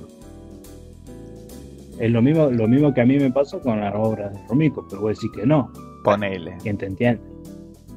ponele. Pero bueno, Metrópolis. Lo fuimos real a la mierda. Está bien, está bien, me gusta que sea así. No, no, nos basamos lo que es con respecto a lo que es eh, diseño, que Sí, para sí. mí me encanta, los diseños de los personajes a mí me, me vuelven loco de la película. Es más, todos los diseños de personajes de Tezuka siempre me encantaron, desde el que los conocí hasta ahora. Eh, me parecieron los mejores diseños dentro del diseño de personajes, me parecen hermosos, simples, pero muy dinámicos. Y ya que hablamos de esto, en cuest- o ya que hablamos en cuestión de animación, diseño de personajes, música. ¿Qué les pareció a ustedes? 10 de 10. Va, no, eh, 8 de 10. La música, a- a- no, a mí me encantó. Eh, yo, a mí me gusta. eh, es- no- diría que me gusta el, el jazz, o sea, me gusta mucho escucharlo, pero no conozco, ¿no? De autor y qué sé yo. Pero es. eh, a, mí, a mí me vuelve la cabeza. De hecho, había escuchado la banda de sonido antes de ver la película y ya me había encantado. Eh, es increíble. Ah, ya venías con eso. Sí, no, me encanta, me encanta. Tiene una, tiene una reversión de un tema de jazz clásico que se llama Saint James Infirmary, que es el tema que suena cuando en la escena esta del ángel cuando Tima está con la radio. Sí, Eh, que está mirando el techo. Que es un e- es un tema que a mí que a mí me encanta y haberlo visto reversionado en una versión muy linda no tan buena como la de Neil, Arms- eh, Neil Armstrong escúchame a mí Louis Armstrong no tan buena como la de Louis Armstrong pero es una muy linda versión y verlo metido en un tema de anime yo por lo menos lo agradezco muchísimo y es increíble eh, a vos caeme que soy el que rompe la música con las pelotas vos que te- No, ¿qué más que decir? Es, es eh, alucinante. ¿no? No tuve mucho la, la oportunidad de escucharlo muy detenidamente. Lo, solamente la música que escuché fue por parte de la película. Todavía no, no pero me encantó. Eh, me, me pareció muy, muy lindo, muy maravilloso. Sí. Me enfoqué en la parte del jazz, pero la banda de sonido. O sea, podríamos agrupar los temas de la banda de sonido en- como en dos grandes grupos. Hay una parte que es puro jazz, eh, preciosa y con variaciones lentas y toda la bola. Y también hay una parte que es como. No, no sé qué género ponerle, pero es como. Es la parte épica, oscura, pesada. ¿No es cierto? Que es la música que suena cuando. Cuando se tirotean, cuando pasan cosas, ¿no es cierto? Que también es ¿Cómo? muy buena. ¿Cómo? ¿Cómo- cómo no, no, no suena a mis oídos música pesada, oscura, tiroteo. O Es sea, que- ¿cómo? Yo tampoco. Describímela mejor. Es la música, es la música que suena en las escenas de acción, ponele. En las escenas de acción no suena jazz, suena otra música. ¿Qué tipo de escena? Ah, pero en- pones un tema de Jax en Gundam y te hace magia, papá. O sea, pero, si, pero si vamos. ¿Qué tipo de música? ¿A más o menos qué otra serie, obra? Es, el- Desafortunadamente, es injusto no decirlo, recuerdo. es injusto decirlo, pero es música de la onda eh, que sale en los videos de YouTube, Anime Epic Mix. Ponele. Uf, amigo. amigo, me top comentó que. 10, top 5 de las películas A que ver, veo. me no. comentó que. Que, Epic que empieza Anime con- Music. Es música, Necesito anime, referencias. música. es música más pesada, más densa, más oscura. Ay, no ¿Es sé sinfónica? Ah, probablemente. Probablemente no estoy seguro, Es no me animo a pesada. Es ¿Eh? pesada, pero no es sinfónica. Lo quieren con música. Estos violines subieron de peso, música pesada. Dale, negro, ¿no sabes? ¿No sabes lo que querés decir, boludo? es que Yo no, no, recuerdo. no sé palabras, la no encuentro recuerdo. palabras como para describirla. No, no, no sé en qué- yo no me acu- Yo no me acuerdo que tuviera música de fondo de esos momentos. Sí, Es que no, sí, sí. no recuerdo. O sea, yo recuerdo que tenía algunos, algunos temas que tenían bastante tinta de jazz, eh, o pintando a lo noir, que es hermosa, pero que sea lo pesada, tiroteo, como vos No, decís. pero pes- no, pero pesada no en el sentido de metal. Eh, Pensaba en el sentido de que es música más. Nunca dije metal, nunca dije Ah, metal. Vos, vos dijiste eso, pesado y tiroteo. no sé a lo que te referí. Ah, mira, me pondría a escuchar algún tema, pero si lo pongo acá va a salir en, en- en el audio y no, no puedo. Em, Cinco y- segundos, cinco segundos. Ah, Después te, después te paso par. Es, vos, vos, queridos oyentes, escuchen la banda de sonido y se van a dar cuenta de lo que digo. Bueno, muy bien. Ya hablamos de. Ahora podemos hablar de lo que respecta a la narrativa. La narrativa, yo lo voy a. La voy a hacer recorta, recontra corta. Es una mierda la narrativa. Es horrible. Es muy mala, boludo. No, no sabe lo que quiere contar. tiene un montón de cosas, está sobrecargadísima la película. Es hermosa la película, la disfrutás todo lo que quieras, pero está tan sobrecargada la película a nivel narrativo que no sabe por dónde quiere ir. Ah, no sé, me parece que el mensaje de fondo. Sí, digamos, capaz que No estamos hablando del mensaje, los mensajes los podemos dejar para después. Texto, WhatsApp. Narrativamente, a mí me pareció. Uf, oh Dios. Ay, Dios. Narrativamente, a mí me pareció que la. La peli. La, la forma que tiene de contar las cosas. Es. La forma que tiene de contar las cosas es. eh, como un gran rompecabezas, como escenas separadas que vos tenés que ir armando eh, en tu cabeza. Eso es muy típico de las películas japonesas. Sobre- Perdóname las piezas, carajo. Eh, No, es que las piezas están, pero las. Me parece que es. No sé, eh, sí es cierto que no es una peli tradicional en el sentido de introducción de un desenlace. No me animaría a decir que es metafórica. eh, pero sí es cierto que, no sé, es raro. Eh, no, lo había No, no es tanto. metafórico ni simbolismo por ningún lado porque te lo tiene en la cara. Mm, Todo, Si me todo a mí, esto, es- si a mí me decís esto es como un rompe, rompecabezas, es uno de 100 pesos que la, la, la- la mitad te la vende por separado. Porque me está faltando información, maestro. están en el DLC. Cin- cinco piezas son de LSN, 500 cada una, las piezas. las piezas nada más. No, Las sí, obvio. Mil, O sea, mil la que- bolsita. O sea, a mí me encantó que la película de veces han arrancado con toda esa onda de, de- de un- una ciudad futurista con, con sus más altibajos. Es más, la primera escena que te muestra, eh, o sea, humana, figura humana, es eh, el robot de la película vieja de Metrópolis, que me pareció un buen guiño Ah, de haber arrancado. Me pareció hermoso que arranque con eso. Y, y después yo dije, bueno, a ver qué me quiere contar. Me contó Quilombo con respecto a lo que es la clase obrera y todo eso. Bien, buen punto. Bueno, eh, armó un robot X que va a ser súper poderoso. Bueno, buen punto. Problemas políticos, bueno, estás alargando bastante. Eh, un chabón que está buscando a un tipo que está haciendo cosas totalmente ilegales. Ok, bueno, la relación entre la mina y el nene. Bueno, el tipo traumado que, que es un chico que lo, que lo adoptaron y no, y no quiere ser menos. Ajá, bueno. Eh, después, ¿cómo vamos? Y vamos con la que ma- matan a cosas, hay rebelión, hay quilombo, se rebelan los cosas, la ligan mal. Ah, y, y después, ¿cómo sigue? Y vamos con la identidad de la chica, que la identidad de la chica se da cuenta de que es un robot, que no es humana. Mm.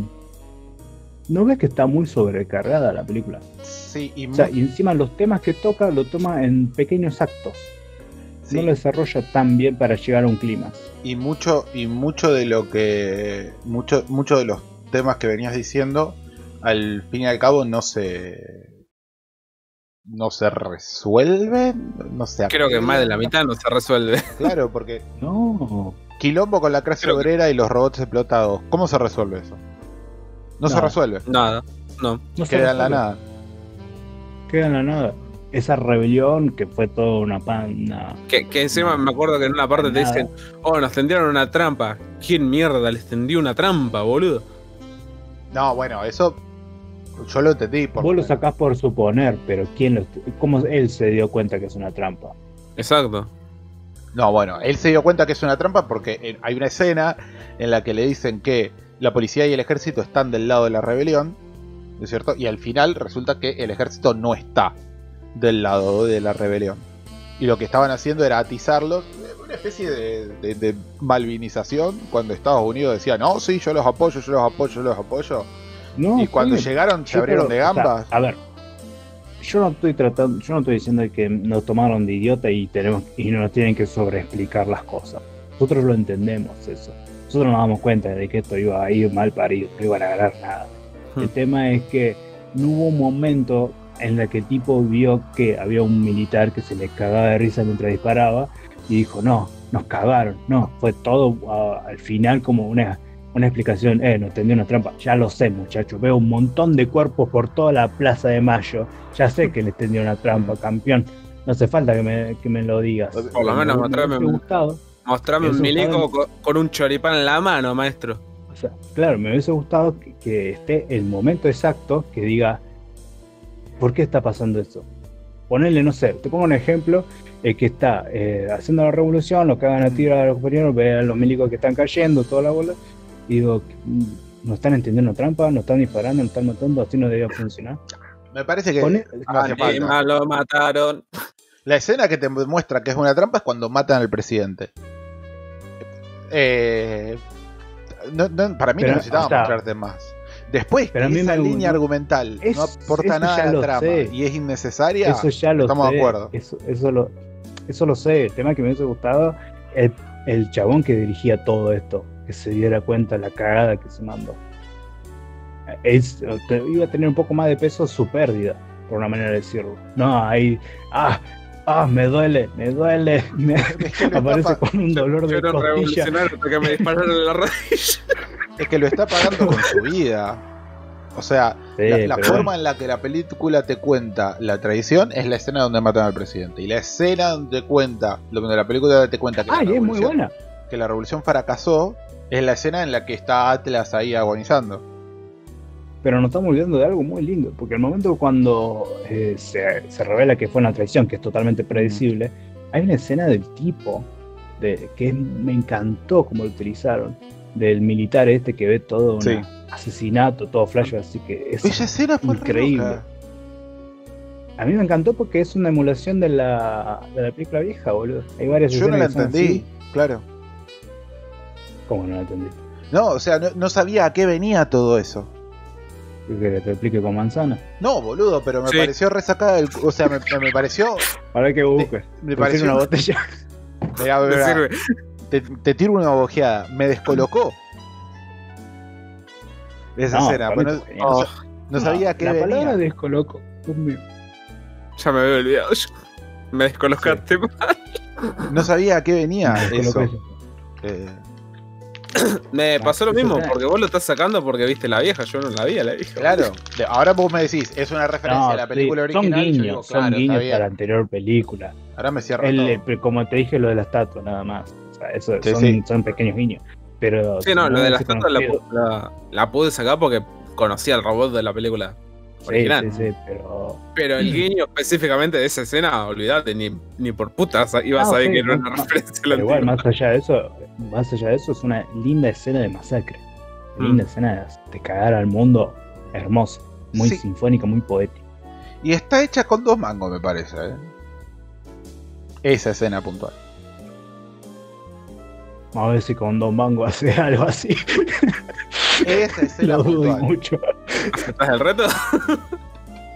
Listo, Demo en, con Demo dos mangos. hace con dos mangos. animación.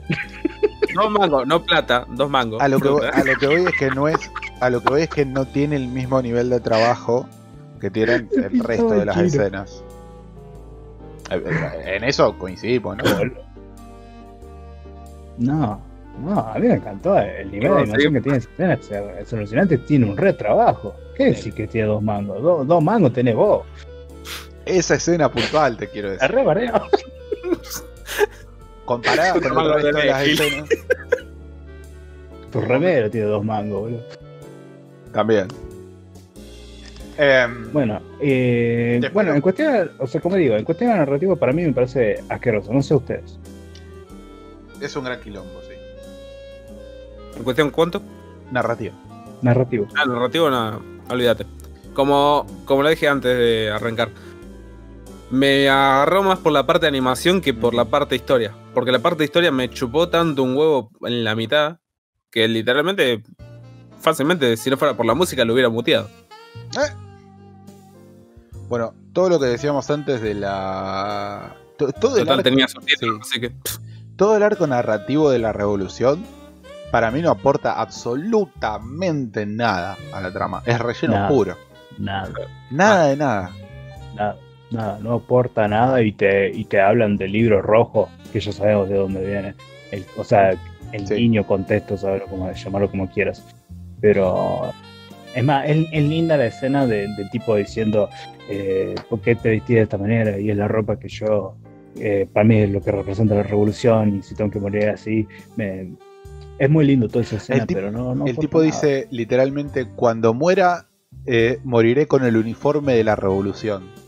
Que esa frase, no sé si es un Dixit de... Pero podría ser tranquilamente un Dixit de El Che. De que de hecho... No, ese es la, es, la, es la frase del gordo mortero. Si me van a llevar preso, me van a llevar con la remera del Partido Obrero.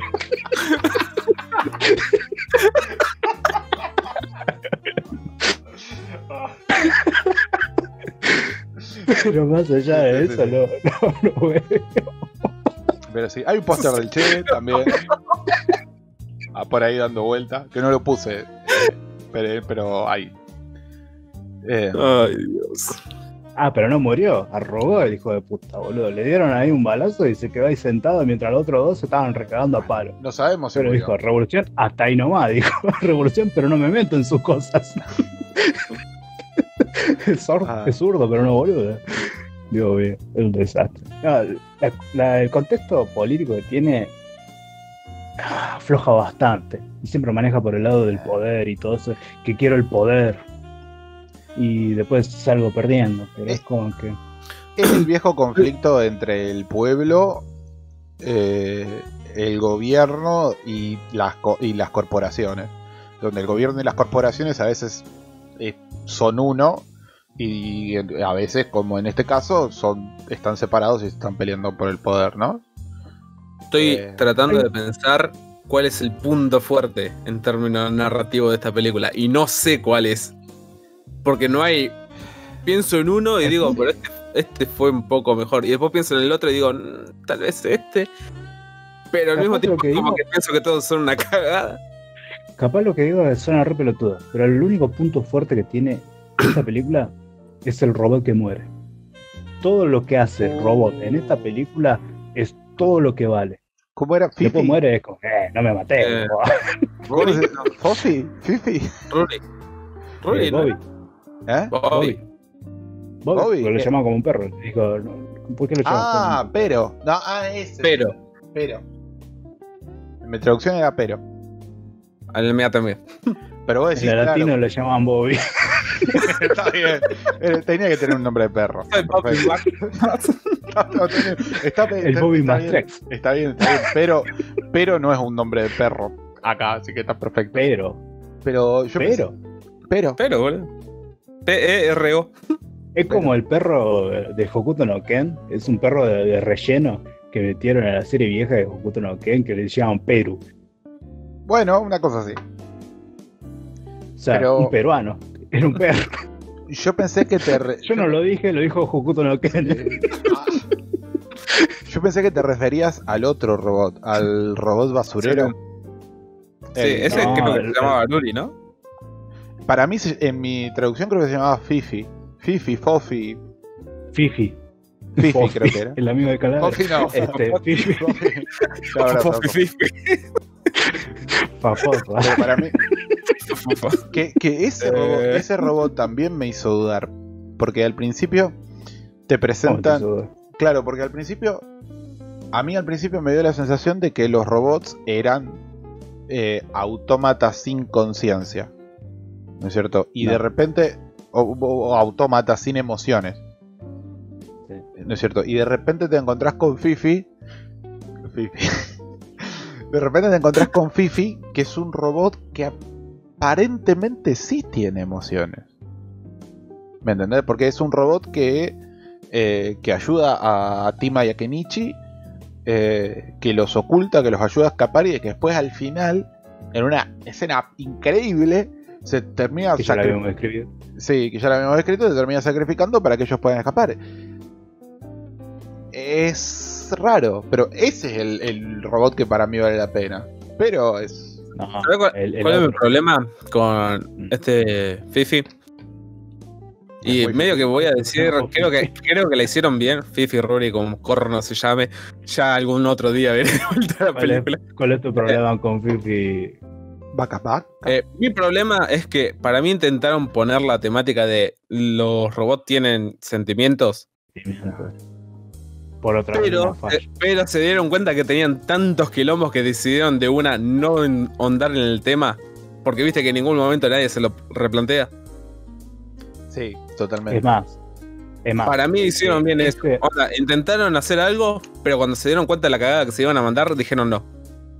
Es más, darle sentimientos a ese robot iba a hacer que eh, la piba no iba, no iba a tener una, una excusa de que Sí, esté. no, la, la, O sea, la tenía, piba tenía está más porque. problema, tenía más problema de existencialismo ese robot que la piba misma.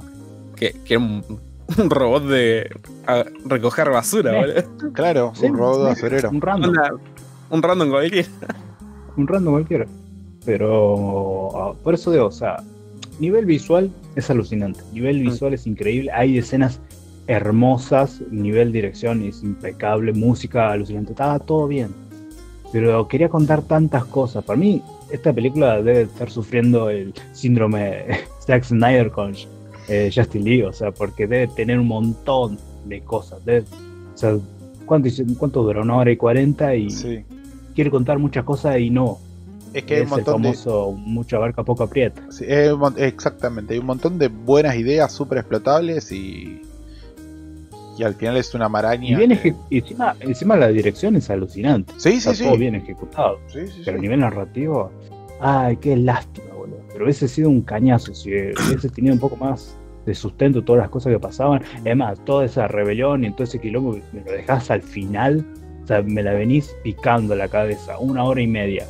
Ponele una hora y media, una hora y veinte de puro quilombo y explota los últimos 20 minutos con la rebelión, con los robots, con, con quilombo que la piba se tiene que sentar ahí, que explota toda la verga, suena el tema que le rompe el culo a Evangelion y todo eso, hubiese sido otra cosa. Yo no comparto lo que le rompe el culo a Evangelion, pero el resto sí. Ah, yo las playas. Que de hecho, yo en un momento Es que- pensé. No, dale. Es que para mí en un momento se tendrían que haber puesto a sentar todos en un momento y decir cómo encaramos esta película. ¿A dónde Específicamente un tema? Claro. que sea el tema principal. No hicieron eso. Agarraron todos los temas y lo, po- y lo intentaron hacer el principal. Y ahí la cagaron rotundamente. Es que yo, yo pensé que en un momento, porque en un momento te plantea esto de los derechos de, lo- de los derechos humanos y los derechos de los robots y la ley de derecho robot y qué sé yo. Y que querían hacer todo este quilombo. A todo esto el Sigurat tira un rayo súper zarpado al, al sol que hace mierda a los robots y eh, ¿para qué? Nunca te explican para qué mierda es todo eso. Pero yo pensé que iba a ir para el lado de bueno, los robots también tienen conciencia, también tienen que ser considerados personas, está mal explotarlos, etcétera, etcétera, etcétera. Y no, no, tampoco. tampoco. ¿A dónde querés llegar, chapón? ¿Me entendés? No, no Eh, va, lado. Hasta por un momento pensé que la película iba a ser un, un thriller de persecución de los protagonistas, viste, corriendo de, de rock. Mm, Y de la nada, por el simple hecho de estar corriendo por todos lados, solucionaban algo que ni siquiera fue eso. claro. A mí me, yo pensé que iba a tirar más para el lado de una peli de noir, de detectives caricaturesca y tampoco. Sí, hubiese pegado muchísimo a lo que decía vos, o sea, toda esa percepción, Sí, sí. todo ese quilombo Mm. con los tipos y, y de fondos como radio de la televisión se escuchaba el quilombo de afuera, viste, las Eh, eh, protestas, los derechos, los atentados, cosas así por el estilo. Es más, la misma radio podría haber sido un objeto, como la otra era un Android de última generación, volumen Pentium 3. Ah. Ponele. Eh, Siete, novena Y generación. se- Eh, con eso tener, no sé, una especie de señal única o... eh, ¿Cómo se llama esto? Radio Broadcasting. Eh, no me lo digan en inglés, capo. Es que no sé cómo se dice en español. Bueno, sí, agarrar inter- eh, internet. Eh, señal de afuera y poder eh, transmitirla a la radio y de ahí empezar a sacar información para intentar solucionar algo. La radio esa misma podía haber funcionado de esa forma, mientras se iban, eh, iban corriendo por todos lados. Como diciendo, ah, me metí en este callejón y justo en este callejón hubo una señal de super random. Donde me tiraron un poco de exposición, ¿viste? Claro. como no sé, el, el malo diciendo no, sí, vamos a usar este telescopio para hacer algo con el sol y que pase X cosa con los robots. Pero por el simple hecho de que había una radio ahí cerca o, o un aparato que termina- eh, transmitiera ondas, eso, eso hubiera atado. Por lo menos ahí sabías que la historia se iba a mover para algún lado. Por lo menos para aclararte un poco el contexto en Sí. el que te estabas moviendo. Pero ni eso hicieron. No, sí. Sí, no sí. sé ustedes. No, no, sí, opino que si hubiese tenido otro cambio de, de dirección en cuestión, en cuestión guion, Hmm. hubiese sido otra película. O esta misma película, pero mejor contada, mejor ejecutada. Ejecutada no, sino mejor Eso. contada. No, no, mejor contada. Eso hubiera sido bueno. Ese es- Hubiese- coincidimos entonces. En- en que el en- problema- para ir cerrándolo, este, esta película es hermosa para verla. Lo disfrutas a nivel de animación. eh, es increíble, es alucinante. Eh, no espere que te vuela la cabeza, desafortunadamente peca en ese sentido, pero Sí. Eh, si la querés ver en pantalla grande, con buen sonido, todo eso, disfrutalo, lo vas a pasar lindo, pero desafortunadamente no, pero Es más, si sos de las personas que no le importa mucho la historia, te diría que te la consigas sin subtítulos. Y que simplemente la, la pongas a ver, así nomás. Boludo ese no. Sí, boludo. Si lo importante acá es más la animación y todo lo demás. Si al final de cuentas la historia no te va a contar nada. No, bueno. o mirá pero- la latino. Onda, de- Yo, a, esta, a esta película te la puedo re- recomendar sin subtítulos. Te le- pero 10 de 10 te la recomiendo así. No, yo, yo no lo Sí, haría. se entiende bastante, ¿eh? Se, se entiende bastante. La- en cuestión de, de lo que muestra a través de animación, se, se tiene un lenguaje que se puede entender. No hace falta que me lo estés Sí. explicando las palabras. Es como que lo ves y ya comiéndolo ya es suficiente. Sí, pero No, no hay ninguna sobre. Porque, demasiado. ok, acá te hago una pregunta. Acá te hago una pregunta, Demo. ¿Qué palabra específica necesitas entender para entender la historia? Uh, eh, Ninguna. sí, Ahí está. Podés ver la película sin subtítulos. Ninguna. Yo lo estuve viendo en latino. Desafortunadamente porque estaba trabajando y es como que miraba Sí. así cada rato porque había escenas alucinantes, pero en momento de charlas era como que lo podía escuchar tranquilamente y era como que no me estaba perdiendo nada. Sí, por eso te dije, a la mitad de la película perdí el interés de saber qué pasaba porque no me estaba contando nada. Onda, es me estaba, problema. me estaba contando cosas muy a la mitad que al final de cuentas no se resolvió para nada. Pese a que tiene Ese es el problema. tan bien Que no sabía por dónde iba, te perdés. Es como que ya Sí. te chupan huevo y disfrutás de lo que ves. Nada más. De lo que ves y de lo que Es escuchas un- de, a Es nivel como un juego de Call of Duty. Es como un juego de Call of Duty. No te importa la historia, querés tiro, nada. No, pará, pará, pará. Depende de qué Call of Duty. Eh, a ver, del primero hasta el último. No, boludo. Yo jugué Modern Warfare por la historia, boludo. ¿Cómo? Yo ¿Conoces jugué, Warzone? yo jugué Modern Warfare por la, por la historia. Me alegro. Ok. Es como la- Descontame un off topic, el último off topic. Descontame la escena de Ghost y qué otra escena vale la pena. La misión de. La misión en la que rescatan al Capitán Price. Eso es lo de Ghost. No, ¿La no, no, eso no es lo de Ghost. La misión en la que se meten al gulag a rescatar al prisionero 626, creo que era. Donde vuelan la. vuelan. Ay, me acuerdo de la escena porque la escena inclusive es increíble. Vos eh, ponés la carga de ese 4, brechás, entrás. Y cuando entras, de repente salta un viejo que te noquea, te tira al piso, empezás a forcejear con el viejo.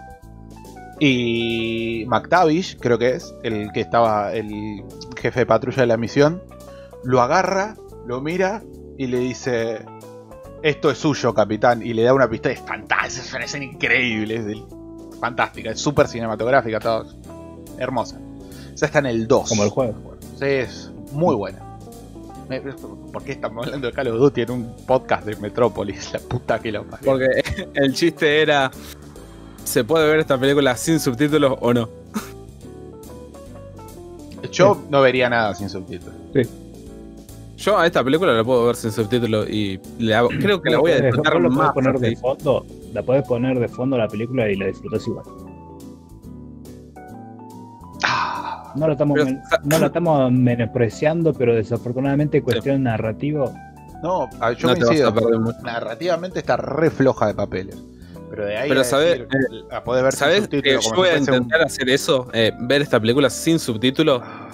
Por el hecho de que quiero saber qué tanto cuenta con solo imágenes.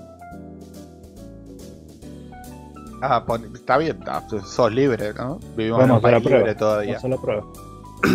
Eh, igual ya sabés de qué trata todo. Eh, No, no, no, pero quiero Eh. ver. eh, Te va a olvidar. me voy a olvidar, obviamente, en un punto. Eh, pero no quiero ver tanto a como lo hice eh, esta vez, eh, enfocándome a los protagonistas, sino alrededor. Sí, Onda, cómo reaccionan todos los demás antes que los protagonistas. yo en, muchas en, muchas en, muchas escenas me pasaba eso, que me perdía lo que hacían los protagonistas por estar viendo lo que pasaba alrededor. Y Sí, a mí me pasó lo mismo. Pero yo no, ahora, ahora tengo ganas de ver específicamente a los que están afuera del rango de los protagonistas. Onda, los secundarios o los terciarios. Pero bueno, eh, Bueno, yo le pongo un, un 6 por todo lo que dije antes y los cuatro últimos puntos son lo, lo que le falta en cuestión narrativa. Pero después todo lo demás está bien. hubo ojo. Yo no voy a puntuar, aviso. Es que si le tengo que poner un puntaje, no sé si. si 6 o 7. Y no quiero ser tan maricón como para hacer un puntaje entre medio, ¿viste? No, no soy fan de hacer puntaje entre medio. Eh, Chip, chip, chip, chip, chip, chip, chip. A falta de trigger. pues, Ah, Le voy a dar un 7. ah, muy bien. Yo no lo voy a Temo. puntuar, no lo voy a puntuar, pero para mí, ¿Por qué? Ah, ¿Por qué? porque No es una serie larga, es una peli. Eh, ya sé, pero eh, no lo- me tomo los puntajes muy en serio y no, lo pensé, pero sí me parece que es, eh, es- es una gran película que tiene grandes falencias narrativas y que, como ya dijimos, no, no llega a ningún lado. Estéticamente preciosa, narrativamente floja. Es lo que hay. Eh, Te recomiendo verla un domingo nada más, a la tarde. en Telefe. Se siente culpable de no haber nacido normal. Me siento pobre, decía Jingo. En el último culpable de no haber "Me siento nacido pobre". Me siento culpable de no haber nacido humana. Uh. Bueno, Ni hombre ni máquina, sino algo a la mitad. Estreno exclusivo. Este domingo a las 15 horas por Telefe. Pam, pam, pam. No me dejen delirar, por favor. No, no, dale, dale, dale. Bien. Sigamos. Eh, así que dicho, Terminamos, no sé. dicho esto, pasamos a, a la coda de este podcast previo pequeño separador.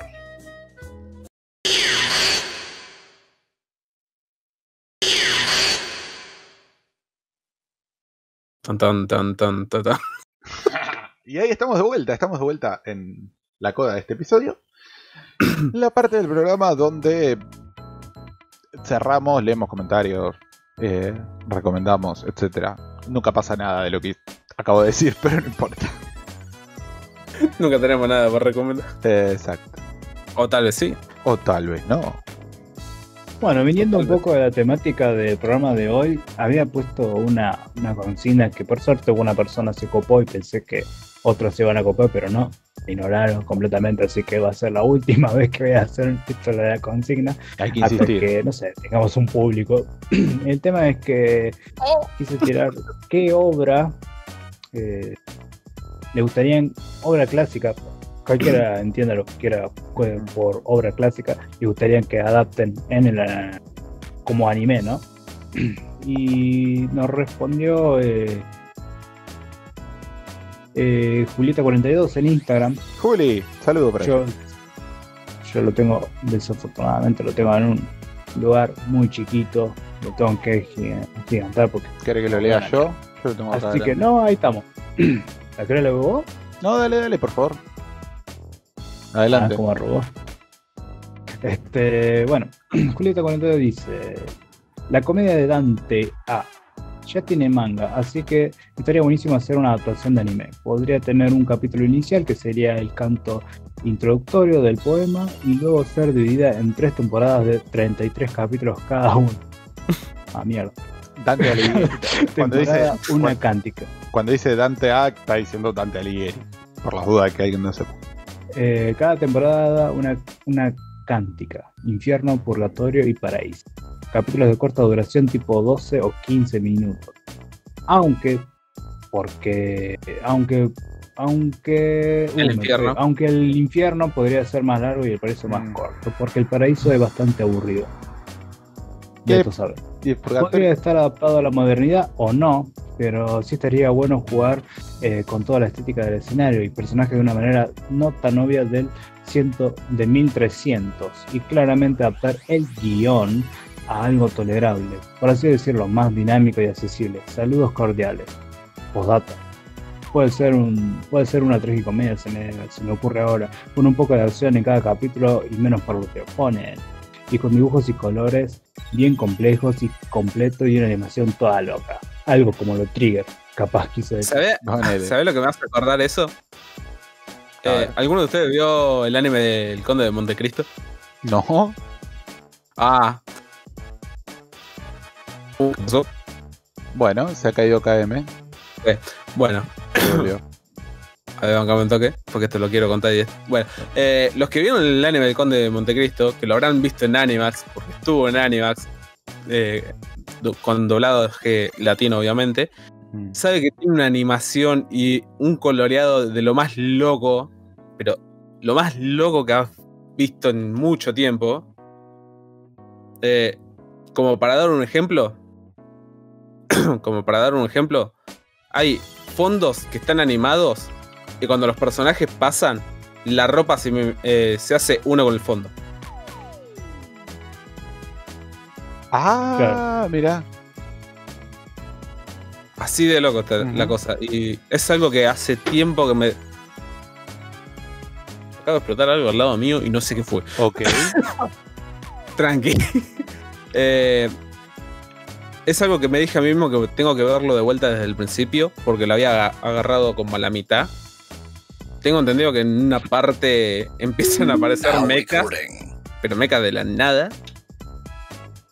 Eh, así que sí, creo que lo que está pidiendo Julieta es algo tipo anime del Conde de Montecristo. Sí, eh, yo.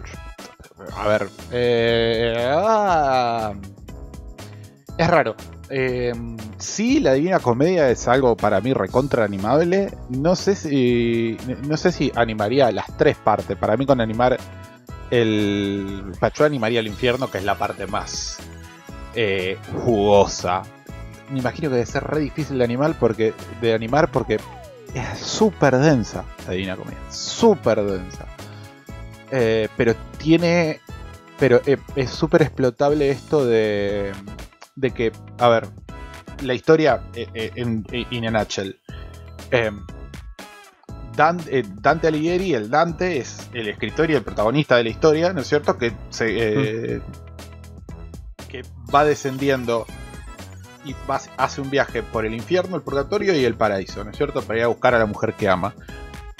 Eh, y su compañero en, en todo este viaje es Virgilio, su guía, ¿no es cierto? Y lo lindo eh, es que a medida. eh, Purgatorio y Paraíso no lo leí, no me la banqué tanto. Pero en el infierno, lo lindo es que a medida que va descendiendo por los círculos del infierno, el, el infierno es, es cónico y tiene círculos. En diferentes niveles, son ocho círculos. eh, se va encontrando con un montón de personajes históricos y, y eso en versión anime me parece que es re explotable, onda a los Fate, como explota Mm, eh, Fate los personajes históricos, me parece que mm. sería fantástico. Pero eh, narrativamente. ¡Ah! Eso. Tenés- o sea, te- para que venda tenés que meter la acción y esas cosas. Claro. Y, ¿Y, sí. qué, ¿Y qué estudio te gustaría que lo hagan? Si, si pasa. ¿Cómo, cómo? ¿Qué estudio te gustaría que lo hagan si llega a pasar? En realidad, más que estudio, me gustaría que estuviera dirigida por Yamamoto. Me gustaría que la haga Eiichi Yamamoto, que es el director de eh, Kanashimi no Veladona, ¿se acuerdan? Es- esa película súper psicodélica, la de Jan y Jan. La primera neto, neto. Neto, la primera Neto era. Es una neto, es era- una neto, sí, sí, sí. Em, No me pero me gustaría, me gustaría ver la Divina Comedia hecha en ese estilo, en esa, esa onda Mm. 70, Sí, como Montecristo. psicodelia. No, sí, Sí, sí, sí, sí, sí. la de Montecristo. Em, ¿Y ustedes tienen alguna obra así que no haya estado adaptado del anime? Dato de nota al margen, la Biblia está adaptada al anime. Sí. Em, Oh, hay un mierda. anime de la Biblia. Eh, ¿Pero tienen alguna obra? ¿Se les ocurre? Para mí, Martín Fierro con Mecha es alucinante. o sea, yo ya lo había Bueno, dicho. es- eh, ahí lo había, lo había tirado y era como que Martín Fierro en toda esa época, pero con mecas así, pero mecas todo bien deformes con, el- con un tapado gigante, así como diciendo, somos gauchos, somos mecas y gauchos, tiramos Sí. boleadores y todo. Y encima nos subimos en caballo de mecas y vamos haciendo bosta todo el suelo, porque hasta que se mueven esos caballos con los mecas están de- destruyendo todo el suelo. Pero eso es, es genial. Y, y un opening a lo, a lo Grandizer o Guitar Road. Tonaram, pararam, sí. No, quiero a, a cosas. versión chamamé, papá. Eso. O sea, el, el, el opening ese, poner, ponerle a Horacio Guaraní y el ending a Larralde. Así. Este, este vino con, No, una ending- idea de hacer el Martín Fierro Meca. Y justo cuando dijo eso, en mi cabeza vino un Isekai con piñón fijo, boludo. No, piñón fijo en Another War. Y el malo es topa, boludo. Como hagamos Shindero. Ah, Ay. yo no sé si tengo una obra que me gustaría ver adaptada al anime. Tendría que pensar. Yo no leí tanto el libro como ser- decir algo. Mm, hay, hay un libro que me gusta muchísimo que se llama Los Centuriones. Es un libro de Lartegui, un autor francés. Eh, pero no sé si. eh, no es una Oh, dale, historia. negro. Sí, pero no es una historia adaptable. Dale que me duermo. Está buena, está buena porque la historia sigue a un, a un grupo de, de soldados de la guerra de Indochina pasando por un campamento de prisioneros vietnamitas, volviendo a Francia y después yendo a pelear a Argelia. Pero viste Mm. que el, el anime bélico tiene que estar. Ya no estábamos en los 80. En los 80, me, o sea, me hubiese gustado que lo hicieran en los 80. Hoy en día, eh, ya no. No, no- funcionaría. Mm. Eh, y después otras, no sé porque casi ni consumo obras que sean anime. Es tristísimo lo que estoy diciendo. Rebelde Way me Eh. gustaría ver adaptado al anime, pero bueno. San Martín, eh. el cómic San Martín adaptarlo al ¡Ey, anime, boludo. boludo! Ey, los franceses. Cinco números. los, fran- los franceses tienen eh, bocha de historietas Mm. donde, donde te cuentan periodos históricos de Francia, qué sé yo, las conquistas de Carlomagno, la guerra de los 100 años, todo ese tipo de cosas. Y me, me encantaría ver algo de eso adaptado al, eh, al anime. Sí, sí, sí. O sea, me gustaría ver más animes históricos, en realidad. Eso es lo que estoy tratando de decir. O sea, me gustaría ver eh, eh, cosas, momentos de la historia, qué sé yo, no sé, la caída de Constantinopla, ponele. O sea, así de historia clásica adaptado al anime, que hace que no estamos teniendo mucho. Lo que estamos teniendo, como bien la saga, da pena. Qué sé yo. Y hay muchos que te pueden decir lo contrario. Pero A, a vos no te cabió. a mí no me cabió bien la saga. A mí me gustaría, no sé, la, esos unitarios y federales hechos en anime, ¿sabes? Los, Re gore sí, que va a ser eso. Lo, sí. lo gorísimo que va a ser. Lo gorísimo, Sí. anótame. Lo gorísimo. Ah, Lo gorísimo. Está. eh, o sea, eso. O si no, no sé. ¿Sabes qué, qué, qué serie estaría bueno hacerlo? eh, Esta es una película que me lo clavé hace poco. Y me gustaría que lo hagan anime tipo psicodélica, eh, tipo terror. la- el experimento Filadelfia. No sé qué es el experimento Filadelfia. El experimento de Filadelfia se dice, porque es- se dice más entre los conspiranoicos y sucesos reales. Es como que una nave, una, una nave naval, eh, experimentó en el, en el punto de hacerse invisible a través de los radares allá en la Segunda Guerra Mundial. Entonces se dice que esa nave desapareció por completo y que los tripulantes se han pegado con sus cuerpos con, con, con las naves, o sea, con, con la nave en sí, ¿viste? O sea, eh, se, se unieron al barco, otros desaparecieron, otros vieron cosas alucinantes. Me hubiese gustado, me gustaría que hagan un anime totalmente loco, medio terror psico- psicológico con, con ese suceso. Mm, Sería lindo experimentarlo personal. Ahora que dijiste terror psicológico, ¿sabés qué me parece que, que, que estaría buenísimo para poner eh, en un anime?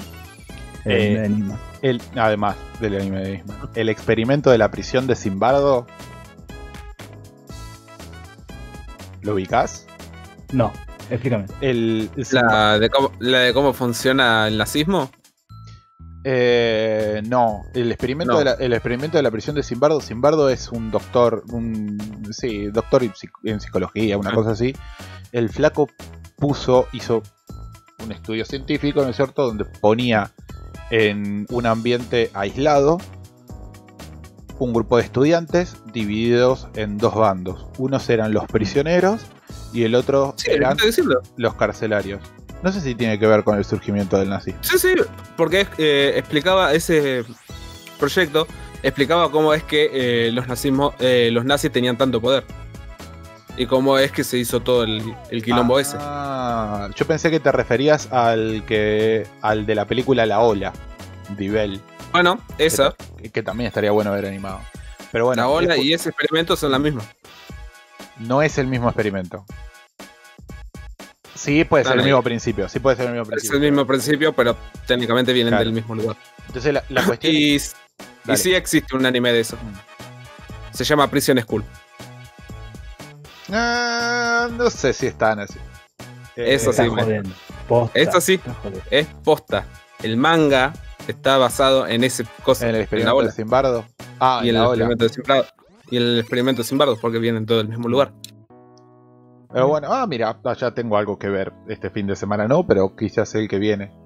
Eh, pero sí, está muy bueno. No lo tenían ese el, dato, eh. experimento, Ah. el experimento creo que No, tenía. y- dato de y color. el Dato de experimento, asado. claro, el experimento creo que iba a durar, estaba programado para durar dos semanas. Y a los cinco Sí, días cortaron durando. todo porque los, los carceleros se terminaron yendo al carajo y cagando trompada a los prisioneros. Eh, eh, Mira, la sección Pirulo tiene un podcast, eh, un episodio sobre eso que es, es fantástico porque aparte cada vez que dice Simbardo, ah, escúchenlo porque, cagando de risa. sí. porque la sección Pirulo Claro. y es fantástico, es muy bueno, muy bueno. buenísimo. Mañana lo puedo decir al asado que voy a tener. Hijo de puta. En toda mi envidia. Yo, yo, yo sé, yo sé votar, boludo. Yo tengo asado todos los días y la heladera llena. Dios. Dios. bueno, antes de que esto se siga descuajeringando un poquito más, ¿les parece si eh, hacemos una despedida y cortamos? Ah, perdón. Eh, nos está... Yo quiero hacer un festejo antes de, de que nos vayamos. Pero Para, para, sí. antes, antes de eso, pues nos estábamos olvidando. Salud, eh, anuncios parroquiales. En el próximo episodio vamos a estar eh, hablando sobre los episodios que nos faltaron de Eureka 7, episodios 22 a 50. Ay, ay, ay, ay, ay. Eh, Sí, se viene lo bueno. Otano Jiminy. ¿Sale, ¿Sale con las cámaras o no? Este capítulo. No, no creo, no, no. Obviamente. Obviamente. No, no, no, no tiene- Obviamente. Discusiones que vienen para después. Obviamente. por favor, el festejo. No, eso lo vemos después. Eso lo vemos. Mm. Eh, bueno, quiero felicitarlo a todos ustedes. Felices 100 días de cuarentena Ah, para bien. todos ustedes. Uh, ya, ya hace un día. A la mierda. 100 días. de felicidades. Eh, cuando se publique este podcast habrán sido ciento- con 107, 108 días más. Así que felices 100 días de cuarentena. Mis primeros 100 días en mi vida. Solamente. eh, Hace trabajo, yo tengo 500. Ah. así que Eh, bueno. Así que bueno. Pero no, pero hablando, pero hablando en serio, este. Ah, este, el próximo. El sábado Sí. 4 voy a tratar de hacer algo. Voy a tratar de planear algo, un directo. No lo voy a manejar yo, sino lo maneja otra persona, así que estén atentos porque puede ser que salga algo, algo rico, algo lindo. Sábado 4. Y ustedes dos están invitados. No, no, Ah. no, no, ustedes creen. Sábado 4, bueno, ustedes dos están invitados, sí. Está perfecto. Y vamos a hacer un directo a través de alguien que lo va a manejar. Estén atentos a las redes. Ujú. Eh, Bueno. uh, hablando de redes, les recordamos que nos pueden seguir en Twitter, Facebook, Instagram. Estamos en Spotify, YouTube, iVoox y el viejo y querido RCS. Y ahora sí, me parece que nada más. Eh, Chao, gente. Señor KM, su despedida. Nos vemos, gato. Bueno, esto fue el episodio 5 de Fractal. Eh, los esperamos en el próximo episodio, donde vamos a hablar de Eureka 7, etcétera, etcétera. Los queremos de todo corazón. Chao.